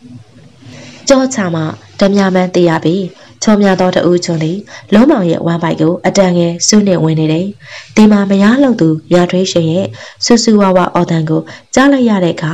မရအတွက်အစိုးရိမ်ပိုးသွားခဲ့ပြီးမိုက်မိုက်ကန်ကန်ရုန်းကန်လိုက်ရာ လုံးမောင်အယုံမှာတနောက်တစ်ခုသည်လုံးမောင်ရဲ့နှထင်မော်ကျသွားကနှထင်မှနေရဲတော်သွေးများစီးဖြာကြလာတယ်။လဲလုံးသူရဲ့နှဖူးမှနေရဲတော်သွေးတွေစီးကြလာသည်ကိုရုပ်ချဲမြင်လိုက်ရတဲ့အခါမြောက်ထွေးရှင်စူးစူးဝါးဝါအော်ဟစ်ရုန်းကန်ရင်တတိလျ၍လဲကျမေးမျောသွားပါတယ်။လူဆိုးများသည်မြောက်ထွေးရှင်ရဲ့ပါဇက်ထဲသို့အဝတ်စားများထိုးထဲတယ်။ပြီးနောက်မင်းနေသူကိုပွေးထုတ်ပြီးအိမ်လဲတိုင်းမှာကျိုးနဲ့ချီတုပ်ထားလိုက်ရာ ကျိုးချီရက်နဲ့အများထွေးရှင်ငေါတုံမင်းမျောနေတယ်။တင်းနောက်လူစိုးနှစ်ဦးကစကားလုံးဝမပြောဘဲလုံးမောင်ဤနန်းကြားဝမ်ပိုက်စသည်တို့ကိုတရှိတမြောင်များနဲ့ထောက်ကအိမ်ပေါ်မှတလက်ချမ်းဆွဲခေါ်ချသွားတော့တယ်။ကျန်လူစုံတို့ကအိမ်ပေါ်မှာရှိသမျှတက်တာတွေကိုဖွင့်၍ရွှေငွေလက်ဝတ်လက်စားစသည်တွေကိုပါလာသည့်အိတ်ထဲသို့အားလုံးတိမ့်ချုံထည့်လိုက်ပြီးခတ်တုတ်တုတ်လိုက်သွားခဲ့တော့တယ်။ ခွေးနယ်ကြီးကုတ်တို့သည်သူတခင်လုံးမောင်ကိုကျိုးတုပ်ရိုက်နှံ၍အတ္တမဒလက်ချံခေါ်သွားသည်ကိုမြင်တဲ့အခါမနီးမဝေးမှဟောင်းရင်နောက်ယောင်ခံ၍လိုက်သွားခဲ့ရာလူလေးဦးသည်ကျိုးတုပ်ထားသည့်လုံးမောင်ကိုအရှိလက်ကွင်းလက်အတိုင်းဆွဲသွားရင်လက်မှုပင်ချောင်းယူဆက်လူသူဝေးရာခင်းရရွှင်ရတို့အညာတာကင်းမဲ့စွာကန်ကြောက်ထိုးကျိတ်ရိုက်နှံ၍ခေါ်သွားကြပါလေခွင်းနယ်ကြီးကုတ်တို့သည်သူတခင်ကိုရရဆက်ဆက်တက်ဖြတ်နေမှန်းသိတဲ့အခါ ရင်ဝါပေါ်ချစ်တင်ပြီးဓာတ်ဦးနဲ့လက်မျိုးထိုးရန်လောက်တဲ့လူဆိုရဲ့ကိုပေါ်သူအလက်မှာခုံအောင်လိုက်တယ်။လူဆိုကလည်းလှင်နေအတန်ကြားတဲ့နဲ့ကြောက်လန့်တကြားလက်ထဲမှာတက်ရှင်နဲ့ဖမ်း၍ထောက်လိုက်ရာဓာတ်ဦးသည်ဂုတ်တိုရဲ့ရင်ညွန့်တက်တဲ့ကိုစူးဝင်သွားပါတယ်။ဂုတ်တိုစူးစူးဝါးဝါအော်ရင်ဓာတ်အနှုံမှာလုံးမောင်အနေသူပြုတ်ကျသွားခဲ့တယ်။ဂုတ်တိုရဲ့ရင်ဝါမှာသွေးများတပွက်ပွက်ထွက်နေသည်ကိုလာရောင်နဲ့လုံးမောင်ကြေခွဲစွာမြင်လိုက်ရတယ်။နာကျင်လွန်လာသည့်ဝေဒနာကို အန်ကျိတ်ခံစားရင်အကျော်ဆွဲနေသည့်သူ့အနီးမှသူ့ရဲ့ငယ်ပေါင်းတားချစ်ကြီးဂုတ်တူကိုဖက်ရပြန်လိုက်စဉ်ဆွတ်ဆွတ်ကလူစုရဲ့မျက်နှာပေါ်မှာစီးထားသည့်လက်ကင်ပေါ်အဝတ်သည်သူ့ရှေ့မှရုတ်တရက်ပြုတ်ကျ၍ရှော့ကျသွားတယ်။ဒီမှာလုံးမောင်လူစိုးရဲ့မျက်နှာကိုတစ်ပင်ရိပ်ကြားမှကြားနေထိုးနေသည့်လာရောင်နဲ့တွေ့လိုက်ရပြီးအကြီးကျယ်အံ့ဩသွားခဲ့ရတော့တယ်။ဟင်ခင်ဗျကိုရွှေကြီးညို လုံးမောင်ရွှေကြီးညိုရဲ့မျက်နှာကိုတလဲအကျော်ဆွဲပြီးမျက်လုံးပြူလျက်ညင်းညူနေသည့်ခွေးနယ်ကြီးဂုတ်တူကိုတလဲကြံလူစု၃ယောက်ကိုတလဲကြည့်ပြီးတုံးလောက်ခြောက်ချာကအတင်းလူးလဲထားလိုက်တယ်။အော်မင်းကငါမျက်နှာကိုမှတ်မိသွားခဲ့ပြီကိုအေးမှတ်မိမှတော့မထူးပါဘူးကွာဒီနေရာမှာပဲလက်စာတုံးရှင်းပြလိုက်တာကောင်းပါလေ။ဒါဟိစကြစို့ဟိုကိုရှိကြီးညိုမလောက်ပါနဲ့ဗျာမလောက်ကြပါနဲ့ကျုပ်ကျုပ်တောင်းပန်ပါတယ်ဟာလုံးမအောင်လုံးမငါရဲ့အချစ်ဆုံး တဲဥပန်းလေးဇနီးနောင်လေးကိုလူပြေးတော့ကမကြောက်တဲ့ကောင်ငါ့ကိုတစ်သက်လုံးအရှက်တကွဲဖြစ်အောင်လုပ်တဲ့ကောင်မိကြောင်ငါရဲ့အသေးနှလုံးတွေတစားစီကြေခွဲပြီးလူရောတဲ့မျက်နှာတောင်မပြရဲတဲ့ဘဝသူများတွေရဲ့အလောင်းအပြောင်အကြီးအထိတ်ခံခဲ့ရတဲ့ဘဝရောက်ခဲ့ရတယ်ရွှေကြီးညိုးဆိုတဲ့ကောင်ကအဲ့ဒီလူကိုသားစင်မီးဆက်လူပြည်မှာကြာရှည်နေခွင့်မပေးဘူးလို့မောင်မြထွေးရှင်ကငါလက်ကလူပြီးချစ်ခဲ့တဲ့မင်းရဲ့ချစ်ချင်းနောက်ဆုံးရလက်တနေ့ငါပေးခြင်းတဲ့မင်္ဂလာလက်ဖွဲ့ကဟောဒီလိုဟောဒီလို ကိုကုတ်ရှိကြီးညိုအမလေးဗျာသူနာကျင်စွာလူးလွန်နေညူရင်ရိုးပြက်မြေပြင်ပေါ်မှာသွေးချင်းချင်းရဲ့နဲ့လူးလွန်လူးလိမ့်လို့နေပါတယ်ဓာချက်ပေါင်းများစွာသည်လုံးမောင်ကူမှာစိုးဝင်ရှာတင်နေတယ်သွေးတန်ရဲရဲဟတ်တက်ခွဲဟတ်တက်မြဲဓာတန်ရများအကြမှာတင်ငယ်စောနဲ့လူးလို့ရင်နောက်ဆုံးအာကူရာတေဘောတေဘက်သူ့အခြေဆုံးငယ်ပေါင်းခွေးနယ်ကြီးဂုတ်တူရှိရာသို့လူးလိမ့်၍သွားလိုက်ပါတယ်သွေးရိုင်သွေးကတ်ထဲမှာ လူးလွန်လူးလှရင်သွားပြီးတဲ့နောက်အသက်ပြောင်းနေသည့်ခွေးနယ်ကြီးဂုတ်တူရဲ့လေပင်ကိုအားကိုကြီးစွာချစ်ခင်မျက်နှာစွာဖတ်ရင်သူအသက်ထွက်သွားခဲ့ပါတယ်။ကိစ္စချော်ပြီးဆရာကြီးကတသိချာစစ်ပါကွာတော့ကြဒီလောက်များတဲ့တရားတွေနဲ့ခင်ဗျားရဲ့ကောင်အသက်ရှင်နိုင်စရာမရှိဘူး။ဒါဖြစ်ရင်လည်းသွားကြတော့တဲလွန်စားမကြောင်ဂယုစိုက်ကြနော်။သူတို့လေးဦးနှစ်ဖူးမှချွေးသေးများကိုတော့ပြီးအတန်ငယ်လှမ်းသည့်ချောင်းယူတဲ့သူလာခဲ့ကြတယ်။၎င်းတော့ ချွေးသွေးများပေးကြံနေသည့်ကိုပေါ်မှအဝိစားအလုံးကိုချွတ်ပြီးကတဲ့ပင်အောင်မြေကြီးကိုဓာတ်ဦးများနဲ့တူးစွာကအတန်ငယ်နဲ့တော့မှအလုံးရဲ့အဝိစားများကိုထည့်မြောက်တယ်။ရွှေကြီးညိုကလူတက်ရမှာတုံးသည့်လက်နက်များနဲ့မျက်နှာစီးအဝတ်များကိုပါကျင်းတကျင်းတူဖို့မြေဖို့မြုပ်၍လက်စာတင်လိုက်ပါတယ်။ပြီးတည်နဲ့ချောင်းရည်ထဲမှာကိုလက်တုတ်တဲ့တန်ဆင်ပြီး တယောက်ကိုတယောက်သွေးစာသွေးနာပေးချမှုရှိမရှိတရားတန်ချက်ရှိမရှိအပြန်လန်စစ်ဆေးကြပြီးညာတွင်ချင်းကိုယ့်အိမ်ကိုပြန်အိတ်ကြတယ်တန်ခဲကိုလည်းညာတွင်ချင်းပင်သူ့ရာသို့ပြန်ခိုင်းလိုက်ပါတယ်ရလာသည့်လက်ဝက်လက်စားများကိုတော့မကြခင်အားလုံးကိုဝေချမ်းပေးမည်ဟုပြောပြီးအသေးသေးလူစုခွဲလိုက်ကြပါတယ်နောက်ဆုံးတော့ငွေရှိသူအာနာရှိသူတို့ထင်တိုင်းကျဲသည့်ခင်ငွေကအာနာကိုအုတ်ထုတ်ကိုစောင်းပေးသည့်ခင်မှာ ဦးကြီးညိုရဲ့ပေါင်းတင်ပေကံဆက်ဆံတတ်မှုကြောင့်လုံးမောင်ရရဆက်ဆက်ရုပ်ပြက်စင်ပြက်အသက်ခံရသည့်ဓမြတိုက်လူတန်းမှုသည်ဟန်တာဝရီအရှိချမ်းမှလက်မရွတ်သိန်းအောင်တို့တတ်တယ်လို့လို့သုံးတောင်ပြန်ငမဲတို့တတ်တယ်လို့နဲ့တရက်ခန့်ပြေစည်ရင်သွင်းတယ်လို့လို့အတန်ကောင်းဟစ်ကတရက်ခန့်လုံးဝမမိန်နိုင်ခဲ့ပါအချိန်တွေသာရင့်ကြံလာတယ်နောက်ဆုံးတောက်ခတ်ကြေကွဲမျက်ရည်ဝဲခြင်းဖြစ်တာအလွမ်းဆက်သိမ်းရမလို့ရှိတော့တယ်အခုတလော စေးလုံးကြီးရွာမှာနာမည်ကြီးနေသည်ကလောမောင်နဲ့ဂုတ်တူကိုနေဝင်ဖြိုးပြရွာထဲဝင်လာသည်ကိုတွေးကြသည်ဆိုသည့်တဲ့မယ်ဖြစ်ပုံကတည်းလို့တညလှစိန်နားသွင်းနောက်ကြသည်နေနွားရိုက်သွင်းချိန်ပြန်မှာနွားတကောင်လိုနေ၍နောက်ပြန်ကြောပြီးရှာတော့လောမောင်ကွဲလုံးတဲ့နေရာမှာနွားနေကလေးကိုသွားတွေ့ရတယ်နွားနေကလေးကသူ့ကိုကြောင်းကြည့်နေတယ်ဒီနောက် သူ့နောက်မှာတစုံတဦးက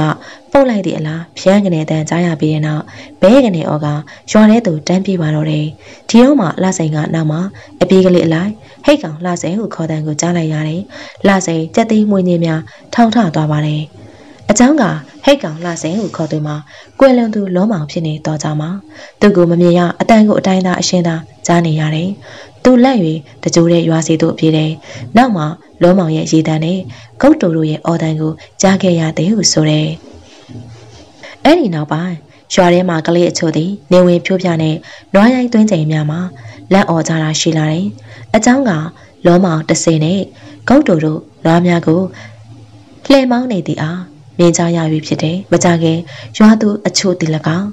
တက်ကြီးအချို့သည်၎င်းလာပညာလာကွယ်ညာများ ခွေးကိုတန်ကြ၍ထားကြည့်ကြရာလမ်းပေါ်မှာအလွန်ကြီးမားသောခွေးနံကြီးတစ်ကောင်နဲ့လူတစ်ယောက်ကိုမကြခဏဆိုသလိုမြင်ကြရတယ်တဲ့။သူတို့တွေ့ရတဲ့လူတစ်ယောက်နဲ့ခွေးနံကြီးတစ်ကောင်သည်ရိုးကနေရိတ်ကနေရောက်သွားနေသည်ဟုသိရတယ်။မြထွေးရှင်ကတော့လောမောင်တစိဘဝနဲ့ရွာထဲဝင်လာသည်ဆိုသည့်အတန်ကြားရတဲ့ကားစိတ်မကောင်း။သို့တော့တွေ့ကျင်သည်တွေ့ကျင်၍လာကွယ်လာပညာတိုင်းစောင့်ကြည့်တော့လေခွေးဟူတန်များခြေတန်များရီတန်များ ညီးတံများကိုသာကြားရတယ်လူပုတ်ကူကိုတော့မတွေ့ရပါဘသူလဲကွာပြောလေဥဖို့တော့လားအပြင်မှာပြန်ပြောတယ်မစားရအပြင်ကတကားကိုခောက်လိုက်ပုတ်လိုက်လုံနေသည်ရွှေကြီးညိုကအဖေလားကိုထပ်မိတယ်အတန်တော့ကြားရတယ်ဒါပေမဲ့အဖေတန်မဟုတ်အဲနောက်မိကွက်ကိုထွန်ပြီးတကားချက်ကိုတတင်းနဲ့ဖွင့်လိုက်၍ဟင်ဟာ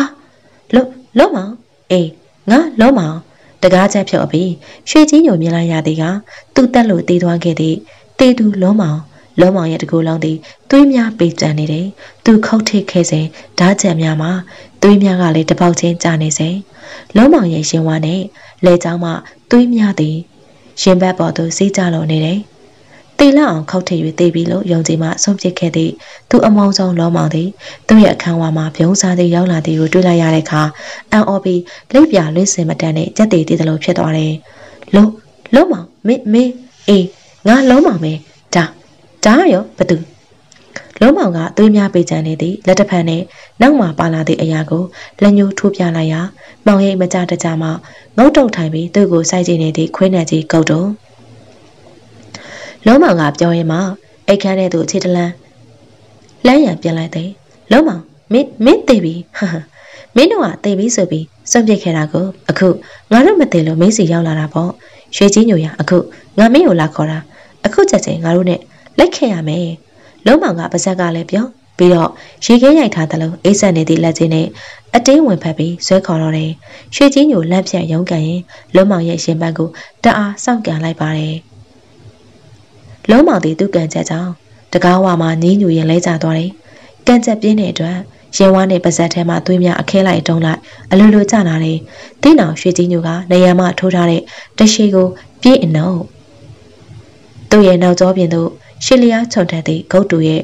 ရှစ်လက်သိမ်းများကစူးနေဝင်သွားရာရွှေကြီးညိုအသေးခိုင်များနာကျင်စွာအော်ရင်ထိတ်လန့်တကြားနောက်ပြန်အလဲဂုတ်တူဤပါဇက်အတွဲမှာအဆွဲဖွေးဖွေးမြကရွှေကြီးညိုရဲ့လေချောင်းကိုမှတ်လွတ်တန်းကိုက်ဖယ်ပြီးဆွဲခါလိုက်ပါတယ်။သူ့ရဲ့လေပင်မှာသွေးများပန်းထွက်ပြီးဆူဆူဝါဝါနာနာချင်းချင်းအော်ပြစ်လိုက်တယ်။လေချောင်းစလုံးသည်ပွင့်ထွက်ပြီးလေးများထွက်နေတယ်။ဂုတ်တို့သည်အညိုကြီးစွာဖြင့်ကိုက်လဲချပြီးလေပင်ပြက်လို့မြကိုက်ခါနေတယ်။ ရွှေကြီးညိုရဲ့လေပင်ကိုလက်နဲ့ရောင်ရမ်းအုပ်ပြီးအားကုန်အော်လိုက်ပါတယ်။လုံးမမလုံးနဲ့ဂုတ်တူအာကြောက်ကြောက်ပါပြီလုံးမမင်းသွားသွားဂုတ်တူမကိုက်နဲ့မကိုက်ပါနဲ့အခန်းတကားဝါကိုချင်းနဲ့ဆောင်ကန်ပြီးလူနှစ်ယောက်ပြေးဝင်လာကသူ့ကိုကန်ချုပ်၍ထိန်းထားကြတယ်။ရွှေကြီးညိုမျက်စိနှလုံးကိုအစွမ်းကုန်ပြူ၍လေဘင်းကိုညှစ်အုပ်ကန်ရင်ထိတ်လန့်ကြောင်ရွံ့ကြီးစွာအော်ဟစ်နေတယ်။ရွှေကြီးညိုတာလူလေးမောင်ရွှေကြီးညိုရွှေကြီးညို လူကလေးမင်းမင်းဘာတွေဖြစ်နေရလဲ။အဖေလုံးလုံးမောင်ဒီကိုလာတယ်။ဟာမဟုတ်တာမဖြစ်နိုင်တာလူကလေးရဟုတ်တယ်တကယ်ပြောတာဟိုဟိုခွေးနဲ့ကြီးလဲပါတယ်သူတွေကလည်းပေးပေကြံစည်းကြလို့အမလေးဖျားဖျားပိုင်ရှိရမှာပေါ့ဘယ်မှလဲကဲကြည့်ဟိုကပါလေရွှေကြီးညိုကလက်ညှိုးထိုးပြ၍ဦးကြီးညိုနဲ့ဦးဖို့တုတ်တို့ကမိကွက်မီးရောင်နဲ့ကြည့်လိုက်ကြရနေရတော့သူ့ကွက်တကွက်ဟာဒါသွေးကွက်ပဲတထေကဲကဲ အဲ့ဒါဒီကောင်တွေလာလာသွားတာဗျလာသွားတာဖို့တုတ်ခြံထဲကိုလိုက်ကြည့်ဘယ်သူမှမရှိဘူးတထေဒါဖြစ်ရင်ဒီသွေးကဘယ်ရသွေးလဲလူကြီးနဲ့ဦးလက်တော်ဝါခန့်ပြတ်နေသည့်သွေးခွက်ကိုကြည့်ပြီးစဉ်းစားနေတယ်။ကြုံမြန်မင်းကိုကြိုက်ခဲ့လို့လားမမသိ။ဘယ်ရလာဗျာလုံးမောင်မလုံးမောင်ဆဲဒီနေရာကနေကျုပ်ကိုလိုက်ခဲ့လို့လားလို့ခေါ်တယ်။ကျုပ်ကဓားနဲ့ပြန်ခုတ်တော့ခွင်းနဲ့ကြီးကကျုပ်ကိုအသေးကြီးကြိုက်တာလုံးမောင်ကဓားနဲ့ဝိုင်းခုတ်။အိုး ရွှေကြီးညိုလူကလေးမင်းအိမ်မက်မက်ပြီးတော့ရောင်းနေတာပါကွာ။အိမ်မက်ဟုတ်လားအိမ်မက်အေးလီအိမ်မက်မို့မင်းကိုမင်းဘာတရားမှမရှိတာပေါ့တကယ်ဖြစ်ရင်မင်းအခုလောက်ဆိုသေးရောပေါ့ဟင်ဖះဖះအိမ်မက်အိမ်မက်မို့လို့သားပေါ့ဗျာ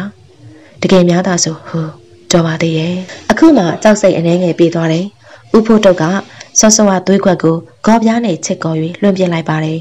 ဦးကြီးညိုသည် အကြောင်းမပြေသေးသည့်တားလောက်သူမျက်နှာကိုကြည့်ရင်ရှင်ထဲမှာတမျိုးဖြစ်လာခဲ့တယ်။သူတို့နှစ်ဦးတားလောက်သူအခန်းထဲမှာဘလုံးပထွေးအော်ဟစ်ညင်းညူတမ်းများကြောင်းပြိုင်တူပြေးကြည့်လာတယ်။သူတို့ရောက်တော့ရွှေချင်းညိုသည်လုံးမောင်ဂုတ်တူစသဖြင့်များကိုရေရွတ်ကဂရင်မောမှလူးလိုက်နေတယ်။ဖိုးတော့ကိုအဖေါ်ခေါ်အိပ်ပါလား။ရတယ်ဖေကျွန်တော်အိပ်ရတယ်။သွားတော့သူ့နေ ဦးကြီးညိုနဲ့ဦးဖို့တုတ်တို့အခန်းထဲမှာပြန်ထွက်၍ကိုယ့်အိမ်ခန်းရှိရာသို့ပြန်လာခဲ့လိုက်ကြပါတယ်။အဖေနဲ့ဦးဖို့တုတ်မရှိတော့မှသူကတင်ပေါ်မှာပလက်လှန်ပြီးဆော့ဆော့အိမ်မက်ကိုပြန်စင်းစားနေလေတယ်။ဟူတော့ပါသေးရဲ့တကယ်အိမ်မက်ဖြစ်နေပြီလို့ဒီအဖြစ်မျိုးအပြင်မှာတကယ်မဖြစ်ပြရစေနဲ့။ ရွှေကြီးညိုလောမောင်ရဲ့သွေးများပေကြံလို့နေသည်မျက်နှာကြီးကိုဖျောက်ပြက်မရပဲပြန်လဲမြင်အောင်နေတယ်လောမောင်ကသူ့ကိုဝင်ဖက်ရင်သူနဲ့လိုက်ခဲ့ရမည်ဆိုသည့်စကားကိုပြန်ကြားကစက်တီးများဖြန်းကနေထားသွားရပါတယ်ခွင်းနဲ့ကြီးသူဂုတ်တူကိုရောလောမောင်ကိုရောဓာတ်နဲ့ထိုးဆိုင်တက်ခဲ့တယ်ယခုကသူတကယ်တက်ခဲ့သည့်လောမောင်နဲ့ခွင်းနဲ့ကြီးဂုတ်တူတို့၏ တစေဝိညာဉ်များသည်သူ့ကိုစတင်၍နှိပ်စက်ပြီး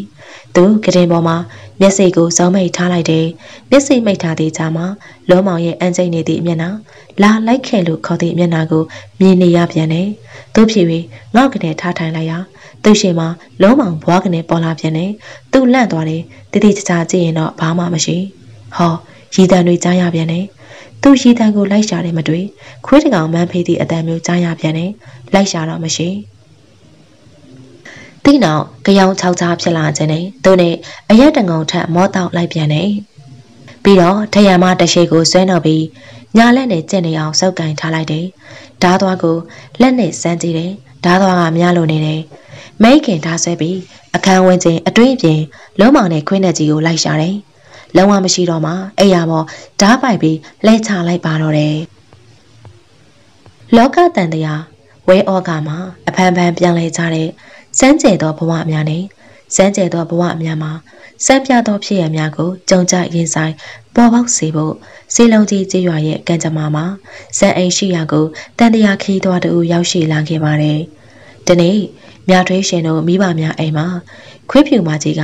ခွေးကလေး၃ကောင်ပေါက်တယ်။ခွေးကလေးနှစ်ကောင်သည်မွေးပြီးမကြခင်မှာထူးဆန်းစွာတည်ဆုံသွားကြတယ်။အနက်ရောင်တောင်းနေသည့်ခွေးနဲ့ချောလေးတစ်ကောင်ပဲအသက်ရှင်လျက်ကြံခဲ့ပါတယ်။ခွေးနှစ်ကောင်သေပြီးတဲ့နောက် ခွေးမကြီးသည်စိတ်လေတလို့ရှိကကြံခွေးနိုင်ကလေးနှုတ်မခွဲခင်မှာပဲခွေးဖြူမကြီးလည်းအိမ်မရုတ်တရက်ပျောက်သွားခဲ့တယ်။အဲ့ဒီတအီအီအော်နေသည့်ခွေးနိုင်ကလေးကိုမြထွေးရှင်တွေ့လိုက်ရတဲ့အခါရင်ထဲမှာလှိုက်လဲနှွေးထွေးသောခံစားချက်မျိုးအလိုလိုဖြစ်ပေါ်လာခဲ့တယ်။ခွေးမကြီးတင်းကလေးကိုစွန့်ပြေမသွားခင်ကလေးကတန်ရောစင်ဖြစ်လွန်လာ၍ပိုက်ကြီးတစ်ခွဲသားနဲ့အဖေတို့အရွာတို့ရောက်ရက်ချရောက်ခဲ့ရတယ်။ မျက်စိမဖွင့်ခင်ကလေးကတကောင်လေးကြံပြီးတဝါကြီးနိုးဆူရလို့လားမသိဝဝကိကိနဲ့လုံးအိမ်နေတာပဲမျက်လုံးဖွင့်သည့်အရွယ်ရောက်တော့ချစ်စရာကောင်းလွန်လာ၍မြထွေးရှင်ကချစ်စရာဟုနာမည်ပေးတယ်ဟိတ်ကောင်နဲ့ပြောင်းနေုံကဒီနေ့ရစားပြီးနာမည်ပေးလိုက်ပြီနော်မှတ်ထားနေနာမည်ချစ်စရာကြားလားချစ်စရာကြီးဟဟဲ့သမီးများထွေးရှင်ခွေးတကောင်နဲ့ဘလို့ဖြစ်လို့စကားတွေပြောနေရတာလေဒီလေစိတ်မနှက်ရလား ကြည့်ပါအောင်အမေရဲ့သမီးကချစ်စရာလို့နာမည်ပေးပြီးချစ်စရာကြီးလို့လည်းခေါ်လိုက်ရောခေါင်းလေးထောင်ကြည့်လို့အမေရဲ့ဟဲ့ကောင်နေငါ့ကိုသေးလားဟင်အေးအေးချစ်စရာချစ်စရာကြီးချစ်စရာလေးရဲ့ဟောကြည့်တယ်အမေဟောအတန်ပေးနေတယ်မြင်လားနေ့လည်မို့အတန်ပေးနေရနေမှာပေါ့ဟင်အမေကမြင်းပြင်းကပ်၍နေ့လည်မို့အတန်ပေးတာနေမှာပေါ့ဟုပြောလိုက်သည့်စကားလေးသည်သူမရဲ့ရှင်ထဲမှာလှစ်ကနေဖြစ်သွားခဲ့ရတယ်ဒီနောက် ခွင်းနဲ့ပြောင်စောကလေးချစ်စရာကိုကောက်ယူကရင်ခွင်ထဲမှာအသိနှလုံးနဲ့နီးနီးကပ်ကပ်ထားလိုက်ပါတယ်။နင်းလင်မို့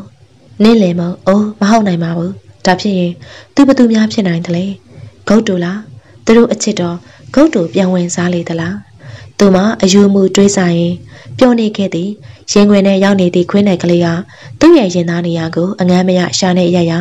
မြထွေးရှင်ကဟဲ့ဟဲ့အကောင် အမေမားနေပြီဟုဩကလက်ဝါးပေါ်တင်၍အလှထိုင်ကြည့်နေမိတယ်။သူ့နေအမေကိုပြောပြီးခွေးနဲ့ကလေးကိုအိမ်ခေါ်လာလိုက်တယ်။သူ့ကိုနေစဉ်နွားနို့တိုက်၍ထမင်းကျွေးပြီးမွေးတယ်။အိမ်ပေါ်မှာအဝတ်တောင်းအိတ်စရာလုပ်၍တိတ်တယ်။နွားနို့ထမင်းနဲ့နေစဉ်စားရမှများတဲ့အခါကိုလုံးလေးကလုံးစုစုထစ်ထွားကြိုင်းစာပြူလာတယ်။အိမ်ကိုအလဲလာကြသူတိုင်းကခွေးနဲ့ကလေးချစ်စရာကိုချစ်ကြတယ်။အိမ်နီးနားချင်းကလေးများက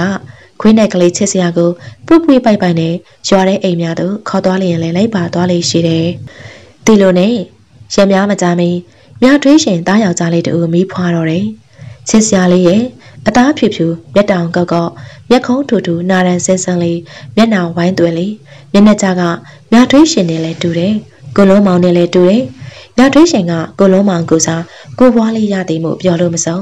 မြထွေးရှင်မိဘနှစ်ပါးကလည်းမိဦးလေးရ၍လက်ကမချနန်းလိုမဝါသွားလေသူတားတမတ်ကိုတရိရပြီးမျက်ရည်ဆူလာ၍သမီးလို့သူမမြင်အောင်မျက်ရည်ကိုတုံရတယ်ယခုကမြထွေးရှင်မှာချစ်စရာကောင်းသည့်ရင်သွေးငယ်သားတဦးတယောက်နဲ့ အာကိုအာထာပြူရလောက်သည့်ခွေးနံလေးတစ်ကောင်တို့ရှိလာခဲ့ပြီးသူတို့နှစ်ဦးစလုံးကိုတားအရင်ချခဲ့သူတန်းတူချစ်ခဲ့ရတယ်။ကို့အရင်ကမွေးခဲ့သည့်တားနှစ်ဦးအလားတပြင်းညီဆောက်ရှောက်သလိုမျက်နာမြင်သည်နှင့်ရင်ကိုအေးမြစေသောသားကိုမောင်မြစ်တာဟုအမည်ပေးခဲ့လိုက်ပါတယ်။ဒီလိုနဲ့အချိန်ရန်တရားသည်လည်းပတ်ခဲ့ရာရာတီတို့သည်သူ့အလဲနှင့်သူကဘာကြီးကိုအလားဆင်ခဲ့၏။ခါစားပြီးဝစ်လဲတော်လဲပေးခဲ့၏။ အခုမြထွေးရှင်ရဲ့သားလေးပင်တနေ့သားတို့ရောက်ခဲ့ပြီ။ခွေးနဲ့ကလေးချစ်စရာသည်လည်းခွေးနဲ့ကြီးချစ်စရာအဖြစ်သို့ရောက်လာခဲ့ပါပြီ။တခင်ရဲ့တန်းပြန့်စွာတုတ်တင်ပြုစုပေးမှုကြောင့်အလုံးအရက်ကြီးထွားချိုင်းပြီးအသွေးအမွှေးများနှက်ပြောင်လာနေတယ်။ဟောင်လိုက်လျင်လေအတန်ကြီးကလည်းဝင်းချိန်ကိုဟိန်းသွားလိရှိတယ်။တော်ရုံလူအိမ်ထဲသို့နေနေညညမဝင်ရင်လူစိမ့်သူစိမ့်နဲ့သူ့ရဲ့မျက်နှာကြောမတဲ့သူများကိုလုံးဝအဝင်မခံ။ အခုတော့အားကောင်းမောင်းတန်ခွေးနဲ့ကြီးဖြစ်ပြီးအိမ်လဲအလွန်လုံးနဲ့အပြင်သွားစရာရှိ၍ချစ်စရာအိမ်ဆောင်နေနော်လို့ပြောခဲ့လျင်အတချောင်းမပြောက်စေရခွေးနှင့်လူတို့၏တန်ရောစင်သည်အံ့ဩစရာပင်ဘဝတန်တရားတစ်ခုကဆွေမျိုးများတော်ခဲ့လျော်သလားမေတ္တာတရားကလူနှင့်တရိษံပင်ခိုင်ကြီးထူးထဲလွန်လာတယ်ချွေးချက်တစ်ခုတော့ရှိတယ်ခွေးနဲ့ကြီးချစ်စရာသည်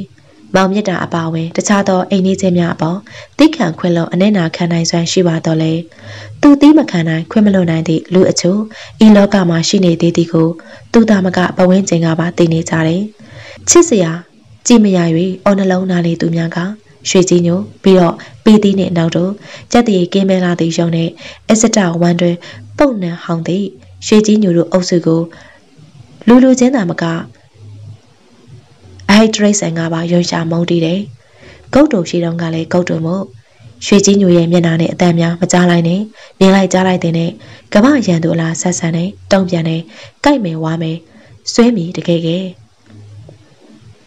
ခွင်းနဲ့ကြီးချစ်စရာသည်နေတက်ရလာတဲ့အခါထူးခြားစမ်းကြယ်လာခဲ့တယ်။သူ့ရဲ့လှုပ်ရှားမှုများသည်တနေ့တခြားလိုဝက်စမ်းကြယ်စားပြူလာတယ်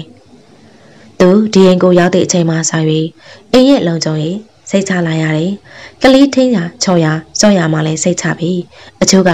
ခွင်းနဲ့ကြီးချစ်စရာကိုကိုလုံးမဝင်စားတာလားမသိဘူးဆိုကြတယ်။ပြောလဲပြောချင်စရာ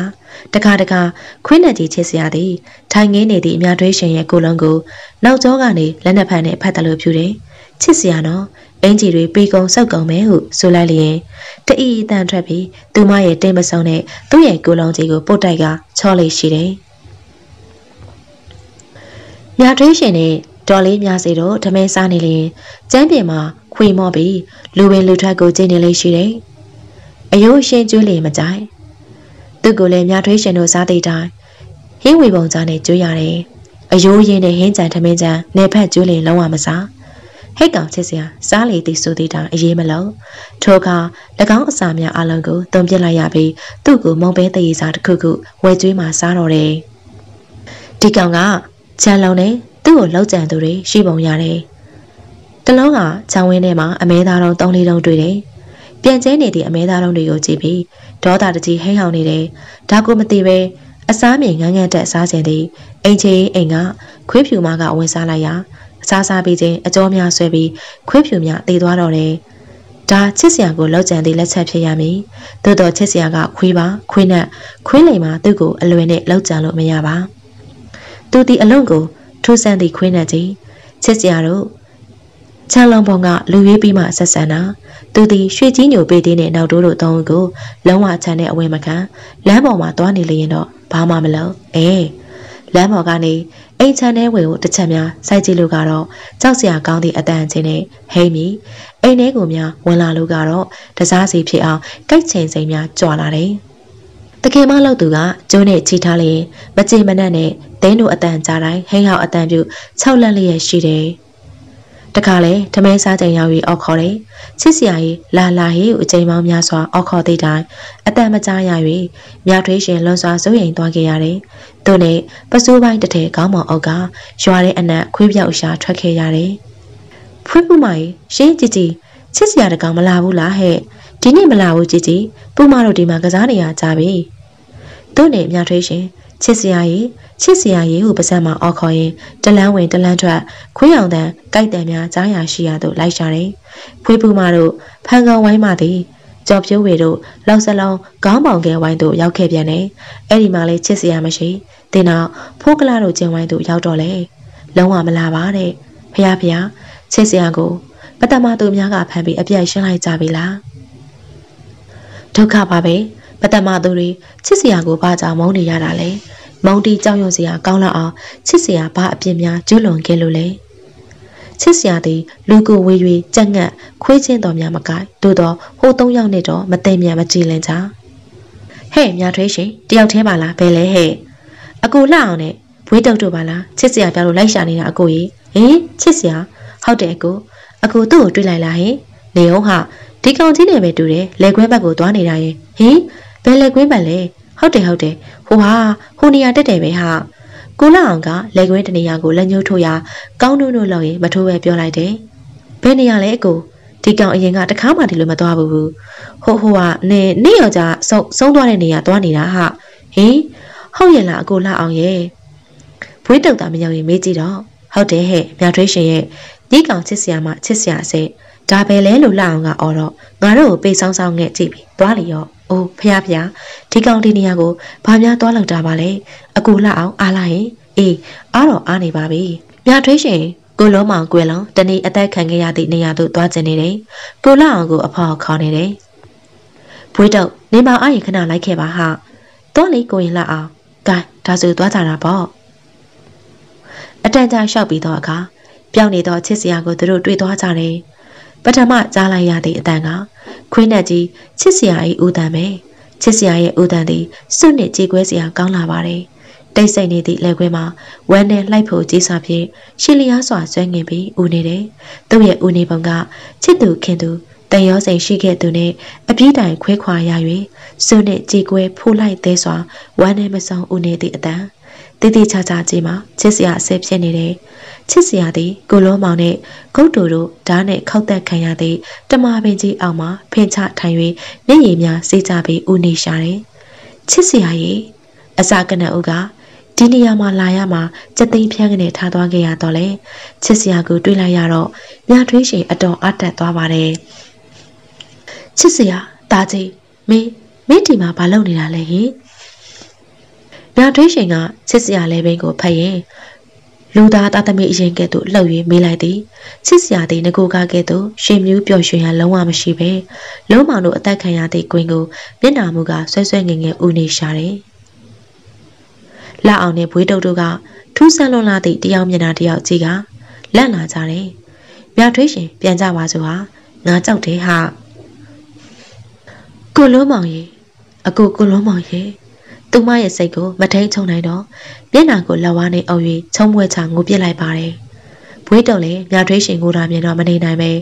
ရောငိုတဲ့တင်တော်လှအောင်ကပြန်ကြစို့ချောင်းမော်ပြောလိုက်တော့မှအလုံးထားလိုက်ကြပါတယ်။ ချစ်စရာဒီနေရာကိုဘာကြောင့်လာနေရတာလဲစဉ်းစားလို့မရ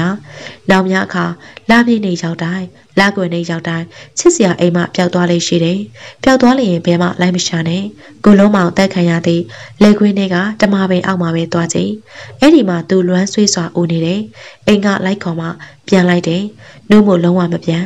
နောက်ကချစ်စရာ ရင်ခွဲကျင်းနေစရာကောင်းလာသည့်အတန်နဲ့ရွာဘက်ကိုမျက်နှာမူ၍မျော်ရည်ဦးနေသည့်မြင်ကွင်းကိုရွာသူရွာသားတို့မကြခဏမြင်ကြရတယ်။ရွာသူရွာသားအချို့ဆိုရင်ချစ်စရာကိုလုံးမအသက်ခံရသည့်လက်ကွင်းတဝိုင်မှာခွေးယူတကောင်လိုပြေးသွားလိုက်ဟိုချင်းတီချင်းအနံ့ခံလိုက်ဟောင်းလိုက်ဦးလိုက်မြေကြီးများကိုချင်းနဲ့ရက်လိုက်လုံနေသည့်အားမကြခဏတွေ့ကြတယ်။ ထို့သို့လုံနေသည့်မြင်ကွင်းကိုလက်သမားများဖားရှာငါးရှာသူများငှက်ထောင်ထွက်သူများကတွေ့၍ရွာပြန်ရန်မောင်းနှုတ်သည့်တိုင်ဂယုမဆိုင်တော့သည်ကိုအလုံးတွေ့မြင်ကြရတယ်။ ကြတော့ရွာသူရွာသားအချို့က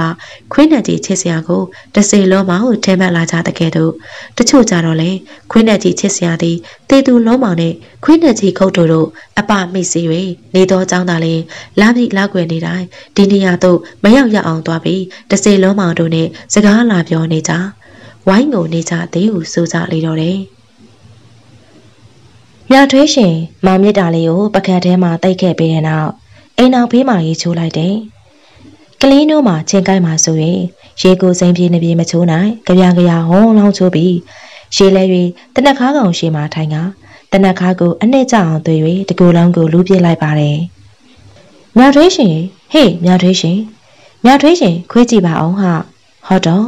အရေးတဲ့ကြမှာဟိုတနာကောင်ရောက်လာပြန်တယ်။သူကခြံဝမှာအတန်ပေးရင်အိမ်အောင်ကခွေးအောင်တန်မကြရတဲ့အခါအရေးဆုံ၍အိမ်မော်တို့လမ်းတက်လိုက်တယ်။ပေသီးနေနောက်တို့တို့က ချမ်းဝမှာမရောက်မလဲနဲ့ကြံရစ်ခဲ့ပြီးအိမ်ရှိအတိအိမ်တို့ဝင်သွားကြပါတယ်။ရွှေကြီးညိုလက်ထဲမှာအထုပ်တွေကိုကင်ပြီးအိမ်မော်တို့ရဲရဲတင်းတင်းတက်လာလိုက်တယ်။ဒေါ်လေးများစီလည်းမရှိပါလား။ကိုရွှေကြီးညိုရှင်အိမ်ရှိမှနေပါကျမဟုတ်နေဘာလုပ်နေရလဲဟာဒေါ်လေးများစီရောဒေါ်လေးဒေါ်လေးရေရှင်ပြင်မနေနော်အိတ်ခမ်းထဲကိုဝင်မလာနဲ့ရွှေကြီးညိုခွေးအောင်တန်းလည်းမကြရဒေါ်လေးများစီရဲ့အတန်းလည်းမကြရတဲ့အခါ အရက်ကလေးကလည်းခတ်တွေတွေမို့မြထွေးရှင်တယောက်တည်းရှင်မှန်းသိသွားပြီးလိုက်ကာကိုမကအတွင်းကန်းသူဝင်လိုက်ပါတယ်ဟင်ရှင်ရှင်ဟဲနှစ်ဦးစလုံးတယောက်ကိုတယောက်စိုင်ငေးကြည့်ရင်အံ့အားသင့်နေကြတယ်မြထွေးရှင်ကလည်းသူမဝင်လာနိုင်ကောင်းဟုယူဆ၍အင်းကြီးဘော်လီကျိတ်ကိုမရအရထက်နေသည့်အချိန်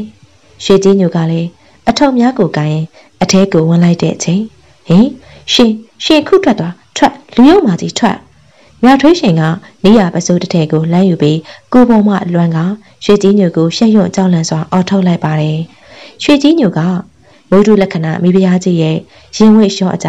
ရင်သားနှမဝင်းကနေပေါ်လိုက်သည်ကိုမြင်လိုက်ရသည်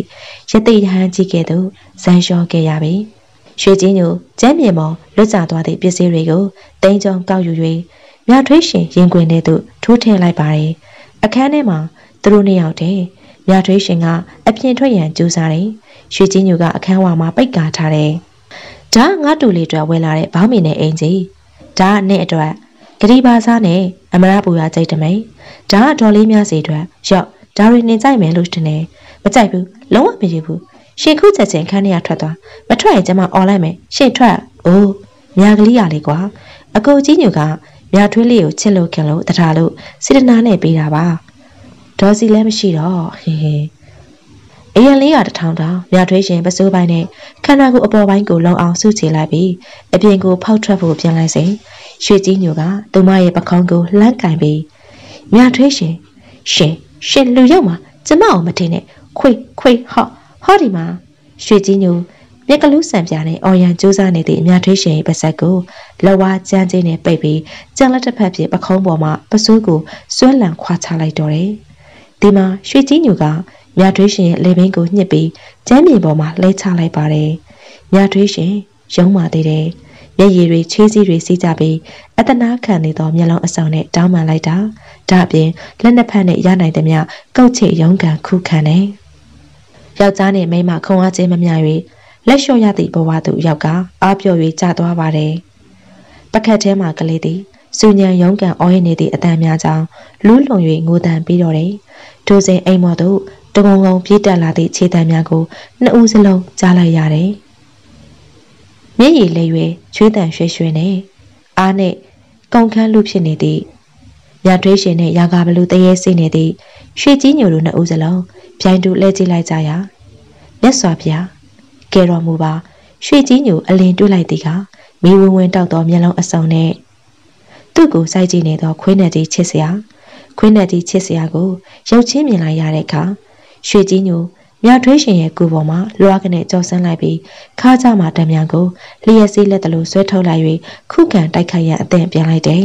။ရွှေကြီးညိုသည်မြထွေးရှင်ကိုတလဲခွေးနဲ့ကြီးချစ်စရာကိုတလဲဓာတ်နဲ့ချိန်ပြီးအလင်းမပေးပဲကြည့်နေလိုက်တယ်။မိသူမအတန်မထွက်ရကြ။ဒီမှာပဲရွှေကြီးညိုမမျောလင်းသောအံ့ဩစရာကောင်းလာသည့်ဖြစ်ရစမ်းချက်တစ်ခုကိုမျက်စိရှေ့မှမှာအထင်သာမြင်လိုက်ရပါတယ်။ ခွေးနဲ့ကြီးချစ်စရာသည်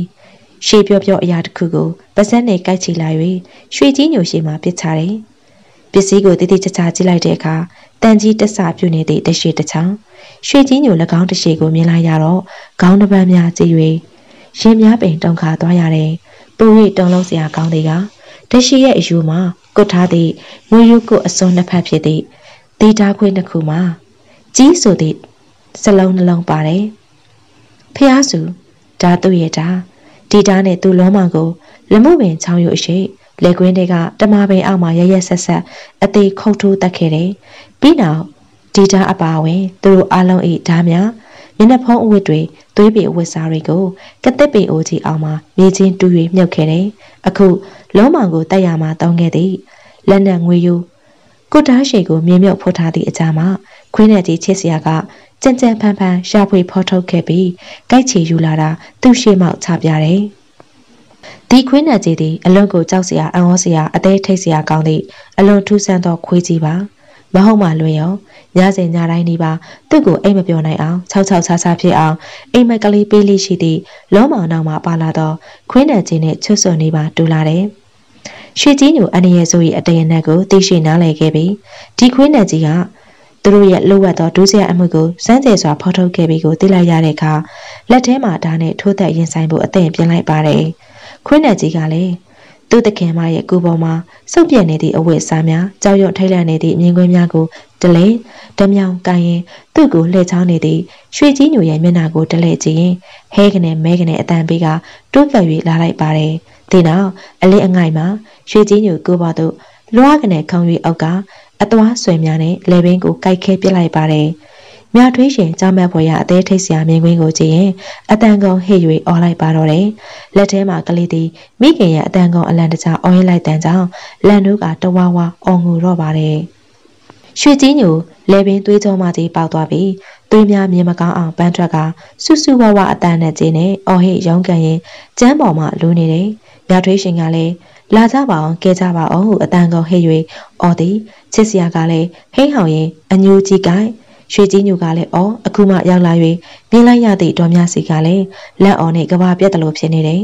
ထိုစဉ်အိမ်ထဲမှာအုံတိုင်းကျဲနေသည့်အတန်များကြောက်လန့်တကြအော်ရင်းနေသည့်အတန်များခွေးကြီးတကောင်ရဲ့ဒေါသတကြီးဟိဟောက်ကိုက်ဆွဲနေတဲ့များကြ၍အဖော်လိုက်လာပြီးအိမ်ရှိအိမ်မှာရင်နွေးချမ်းဟမ်းမပြတ်တော့အကဲခန့်နားဆွေနေကြသည့်ပေသေးနဲ့နောက်တို့တို့ပြောင်းကနေကောက်ထားလိုက်ကြပါတယ်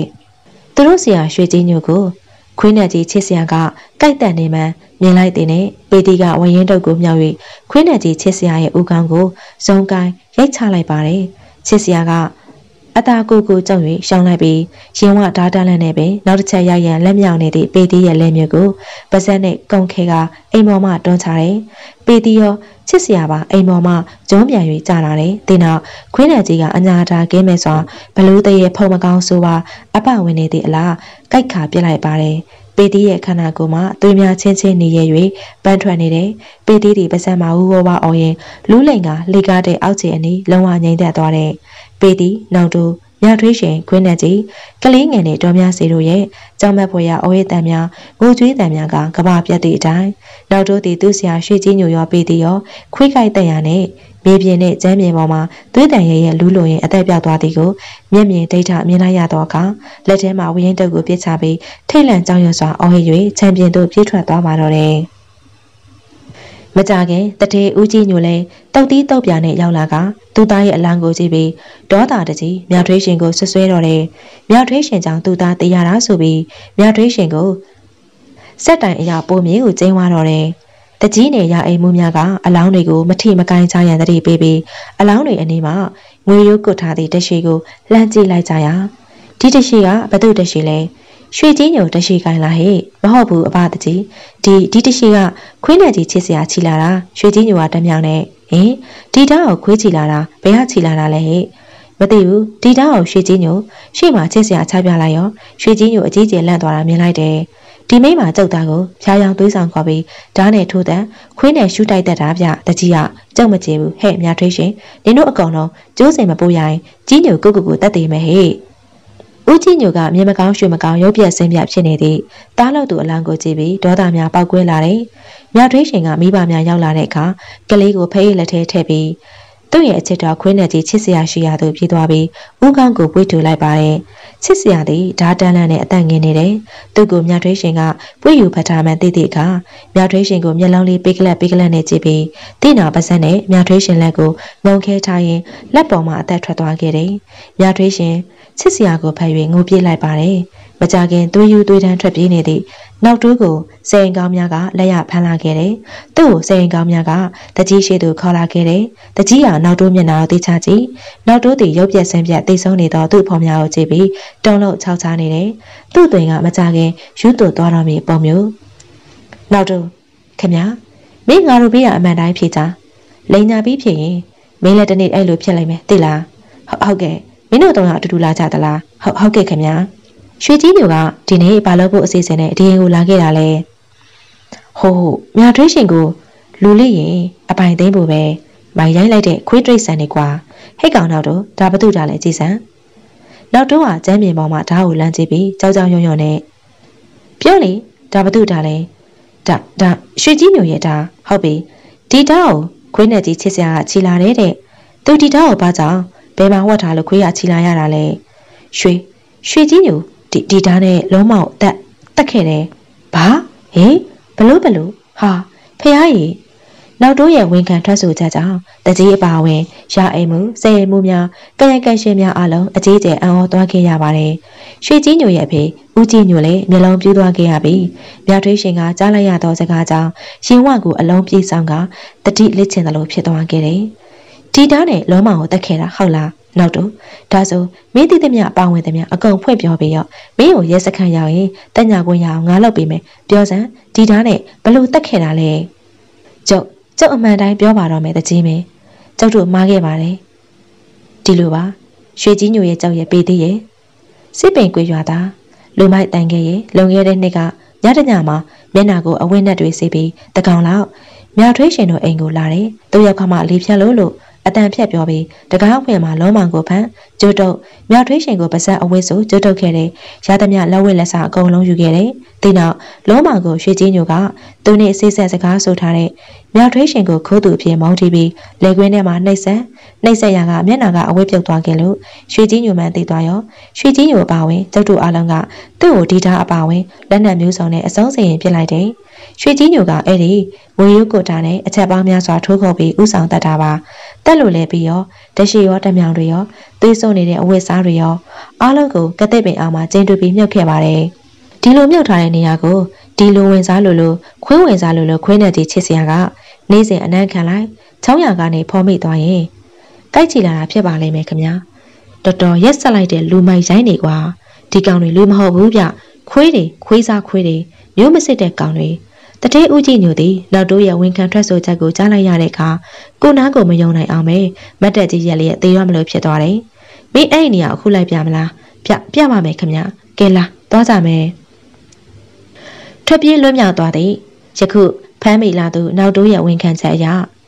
ခွင်းနယ်ကြီးချီလာသည့်ဓာတ်သည်လုံးမောင်ကိုခုတ်သက်သည့်ရွှေကြီးညိုရဲ့ဓာတ်ဖြစ်ကြောင်းနဲ့ပူပေါင်းတရက်ခန့်နောက်တိုးဝန်ခံဖော်ထုတ်လိုက်ပြ၍နေကြီးတဲ့ကျင်းတူးမြုပ်ထားသည့်လူသက်လက်နက်များနဲ့လူသက်ရာတွင်ဝစ်စင်သုံးဆွဲခဲ့သောပစ္စည်းများကိုရရှိလာခဲ့ကြောင်းပူပေါင်းတရက်ခန့်နှစ်ယောက်ကိုလာရောက်အနံ့ရပါကြောင်းပြောလိုက်တဲ့အခါရာဇဝင်အုံမင်းလွန်စွာအံ့ဩသွားခဲ့ရပါတယ်။ ပြီးနောက်မျက်နှာဖြူအရေးပိုင်းကချက်ချင်းတေဆုံးသူတရခန့်အလောင်းများကိုစစ်ဆေး၍လိုအပ်သလိုဆက်လက်ဆောင်ရွက်ကြရန်အမိန့်ပေးလိုက်တယ်။သူ့နေတရခန့်အုပ်ကိုအချုပ်ထဲမှာထည့်ခဲ့ပြီးရာဇဝဲဦးအောင်ကြီးကစားပလိတ်တအုပ်နဲ့ရဲတပ်သားများကိုခေါ်ယူကတကြီးဦးကြောင်ခဲတို့လဲများဖြင့်ရွာသူအမြန်လိုက်ခဲ့ကြပါတော့တယ်။မြထွေးရှင်တို့ဘဝတသက်တာနဲ့တကူမှာအေးကဲ့သို့ထူးဆန်းအံ့ဩဖွယ်ရာကောင်းလာသည့်ဖြစ်ရသည်မကြုံဘူးကဲ့ မြထွေးရှင်မိဘများအပါအဝင်ရွာလူကြီးတက်ကြီးဝါကြီးများကလည်းဒီဖြစ်ရလောက်စမ်းကြဲသည့်ဖြစ်ရမျိုးမကြုံဘူးဘူးဟုဆိုခဲ့ကြတယ်။လွန်ခဲ့သောအချိန်ကိုလုံးမောင်ရက်လေပြီးတော့ကအိမ်မက်ထဲမှာကိုလုံးမောင်ခွင်းနေကြီးဂုတ်တူနဲ့ရောက်လာတယ်။ဒီတော့ကမြထွေးရှင်ကချစ်လင်မသေးပဲပြန်လာသည်ဆိုကဝမ်းသာလုံး၍ချစ်လင်ကိုဖက်ပြီးငိုခဲ့တာ။အခုအကူပေးသွားနေလေလို့မေးတော့အခုအခုမြကလေးတို့နဲ့အတူပြန်နေမလို့လာခဲ့တာလို့ဆိုတယ်။ ဒီတော့ကဝမ်းတာလိုက်တာမပြောပါနဲ့ဒီနောက်ချစ်လိန်ကိုထမင်းကျွေးမလို့နောက်ဖက်မှာခုခတ်ပြီးထွက်လာလိုက်ရာချစ်လိန်ကိုလုံးမောင်မရှိတော့အဲဒီတော့ကအသေးကွေးရင်ဖွင့်မတက်ကိုလုံးမောင်ကြီးဟုအော်ခေါ်ရင်ငိုလိုက်ရကနောက်မှအိမ်မက်မှန်တိလိုက်ရပါတယ်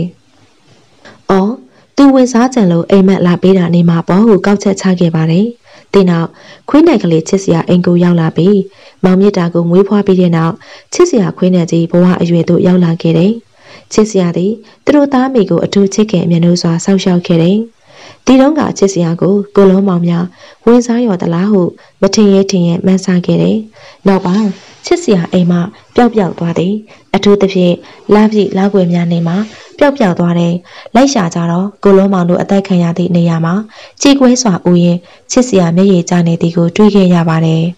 ။အခုတော့ချစ်စရာရဲ့ဇက်ရောက်အစစ်မှန်ပေါ်ခဲ့ပြီ။သူမကိုရွှေကြီးညို အတ္တမကြံသည့်နေ့ကသူမချစ်စရာကိုတားလိုမောင်လိုအကူလိုအာကုကြီးစွာအောက်ခေါ်ခဲ့ရာချစ်စရာလုံးဝမပေါ်လာခဲ့သူမမှာဒီမှာဘဝပြည့်ရတော့မီအားလဲလျှော့ချလိုက်ပြီးအတင်းအတ္တမသမားသည်သူမကိုယ်ပေါ်မှာဘောလီအင်ဂျီကိုဆွဲချွတ်ကြိုးစားနေရင်ခြေတံများနဲ့တူမိဝင်းဝင်းတောက်သောမျက်လုံးအစုံနဲ့ချစ်စရာရောက်လာခဲ့တယ်သူမအယံဝမ်းသာသွားခဲ့ရပါတယ်တိနောက်ချစ်စရာနဲ့ရွှေကြီးညိုရဲ့အသက်လူပွဲချစ်စရာ ပေသီးတို့ရဲ့သူသေးကိုသေးတပ်ပွဲသူသူ့ရဲ့ကျေးဇူးရှင်တခင်မအတွက်ရင်ဝမှာဓာတ်တက်လက်ဆက်ခံပြီးအသက်ဆုံးကောက်ွယ်သွားခဲ့တယ်။ဒီမြင်ကွင်းမျက်စိတွေကမထွက်။ဒီမှာချစ်စရာကြိုက်ချီလာတဲ့ဓာကအတိတ်ကသွေးဆုံးခဲ့ရတဲ့အထုပ်ပတိကိုတက်သေးခံခဲ့တယ်။လုံးမောင်ကသူ့တက်တဲ့လူတွေကိုကိုယ်တိုင်ဖော်ထုတ်သွားတာဟုဝမ်းသာအံ့ဩစကားဆိုခဲ့ကြပြန်သေးတယ်။ချစ်စရာရဲ့မင်းမင်းကိုလုံးမောင်လားအကူလားဟင် ဒီနောက်သူမတို့ချစ်စရာကိုကောင်းမွန်စွာတကြိုပေးခဲ့ပါတယ်။လူသေးလေးတကြိုတကဲ့သို့တစ်သားခေါင်းနဲ့တုတ်တံမှာမြုပ်နှံခဲ့တယ်။နောက်နေ့သူ့ကိုရည်စူး၍တန်ဃာတော်အရှင်သူမြတ်သုံးပါးကိုစွတ်ဆက်ကပ်၍ရေဆက်ချအမြပေးဝေခဲ့ပါတယ်။ညဘက်အာယုံတက်ခံဒီမှာမြထွေးရှင်ထူးဆန်းဖွယ်ရာအိမ်မက်တစ်ခုကိုမက်ခဲ့ရပါတယ်။အိမ်မက်ထဲမှာခွေးနဲ့ကြီးချစ်စရာသည်ရွှေရောင်တောက်ပနေသောအမွှေးများကိုလှုပ်ခါရင် သူမထံသို့အော်မြူ၍ပြေးလာတယ်။ပြီးတော့သူမရဲ့ရင်ဘတ်ပေါ်သို့ရှေ့လက်နဲ့ဖမ်းနဲ့ခေါင်းတက်လိုက်တယ်။သူမကလည်းချစ်စရာကိုလိုက်လဲဝမ်းသာစွာစီးကျူပွေဖက်၍ရင်ခွင်ထဲမှာဥကန်းကိုသွင်းပြီးပါးနှစ်ဖက်ကိုပုတ်၍ကျန်နာမှုများပေးနေစမှာခွင်းနဲ့ကြီးချစ်စရာသည်ခွေးဘဝမှာသည်လူဘဝသို့ချက်ချင်းပြောင်းလဲသွားတယ်။ကြည့်လိုက်တော့ကိုလုံးမောင်ဖြစ်နေတယ်။ကိုလုံးမောင်အကိုမြကလေးမြကလေး ကိုလုံးမောင်ရဲ့ပါပြင်ပေါ်မှာမျက်ရည်များစီးကြနေတယ်။သူမရဲ့ပါပြင်ပေါ်မှာလည်းမျက်ရည်များစီးကြနေပါတယ်။ထိုမျက်ရည်များသည့်ရပ်ပေါင်းများစွာကွဲကွာနေရမှပြန်ဆုံ၍အတိုးနေကြသည့်မျက်ရည်များ။ဇန္နာကင်ရီမောင်နှံလေပြင်းကြ၍တညဝေးရသည့်အားပြန်ဆုံကြသောတူကိုတူဖတ်ပြီးအနစ်900ကျအောင်လွမ်းလူငိုကြတဲ့။သူတို့မျက်ရည်များနဲ့အပြန်လန်နမ်းကြတယ်။နမ်းလို့မဝနိုင်ကြ။မြထွေးရှင်ခွေးနဲ့ကြီးချစ်စရာဘဝမှာ ရွှေရောင်တောက်သည့်ဝစ်ဆောင်တဲ့လူသားကိုလုံးမှဖြစ်သွားသည့်အတွက်အံ့ဩလွန်၍ချစ်လိန်ကိုကြည့်ပြီးနှက်ကမ်းများတုံရင်နေတယ်။အကို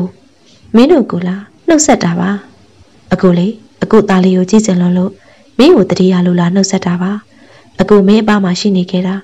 မင်းသဘောပေါက်ပြီးမို့လားမြာကလေးမြာကလေးကိုကိုဘယ်ဘဝရောက်ရောက်စောင့်ရှောက်နေမှာပါဆိုတာယုံမိမဟုတ်လားကွယ်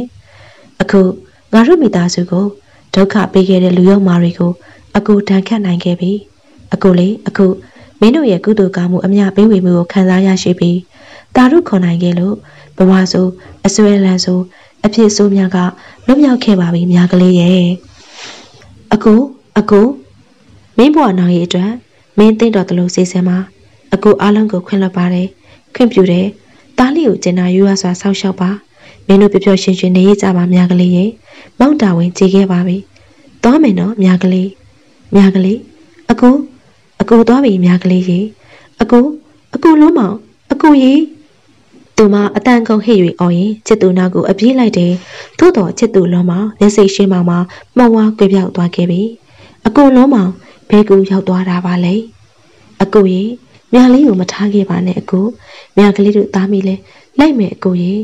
သူမရဲ့အကူခေါ်တန်သည်မိုးတောက်ရံကိုဖောက်၍အခန်းထဲမှာညှန်ရှန်သွားပါတယ်ဒေါ်လေးမြစီအခန်းထဲသို့ပြေးဝင်လာရာ တားလေးမောင်မြစ်တာကလေးဘက်ထောက်၍ထားရင်မိခင်ကိုအလံတကြားကြည့်၍မျက်နှာကလေးရှုံးမဲ့နေရင်သူမရင်ဘတ်ကိုဖိရင်အိမ်မက်မှနိုးခဲ့ပါပြီ။မျက်ရည်များကပါးပြင်ပေါ်မှာစီးကြနေစေအခုခေါ်တန်ကလည်းတူတူတလဲကြဲကြဲတလဲပေါ်လာနေစေသူမရဲ့ကျေးဇူးရှင်ချစ်လင်အနာမှာတကယ်မရှိမှန်းသိရတော့ကချစ်လင်ရှိမိထင်ရအရက်သို့လက်အုပ်ချရင်မှန်း၍ကတော့လိုက်ပြီးထပ်မံအမျှပေးဝေလိုက်ပါတယ် ထို့သူအမျှပေးဝေလိုက်စင်မှာပင်အိမ်တစ်ခုလုံးတိတ်ငနေဖြစ်သွားသည်ကိုတူဝရီနှစ်ဦးစလုံးတရေပြုတ်မြလိုက်တယ်။ဒါနဲ့အတူမွေးကြိုင်သောနတရနံများလှိုင်း၍ထပ်ပေါ်လာတယ်။တူဝရီနှစ်ယောက်အတိတ်ပဲပါသောမျက်လုံးများဖြင့်ကြည့်လိုက်ကြပါတယ်။မောင်ကူစားอืมမောင်ကူစားအကူကူစားဒီသားလေးကိုပဲထားဝစင်းနမ်းမရစေတော့အကူရေးဟုဆိုရင်ကလေးကိုပွေးဖက်ကတဲထန်စွာငိုကြွေးလိုက်ပါတော့တယ်။ ပရိသတ်များရှင်အခုနားဆင်ကြရတာကတော့စာရေးသူမောင်ညိုမိုင်းတန်လင်းရေးသားထားတဲ့တဲထိတ်စမ်းကျဲခွင်းနဲ့ကြီးဆိုတဲ့ဇလံလေးပါရှင်ဒီကနေ့ရဲ့တင်ဆက်မှုတွေကိုနားဆင်အားပေးခဲ့ကြတဲ့ဒုတိယချင်းစီတိုင်းကိုကျေးဇူးထိုးတင်ရှိပါတယ်ရှင်ဆက်လက်ပြီးတော့လည်းစိတ်ဝင်စားဖွယ်ရာဇလံလေးတွေကိုနိုင်မဲဆိုတဲ့ channel ကနေထုတ်လွှင့်ပေးအောင်မှာဖြစ်တာကြောင့်ပရိသတ်ကြီးကိုခင်မင်းရင်းနှီးစွာနဲ့ဖိတ်ခေါ်လိုက်ပါတယ်ရှင်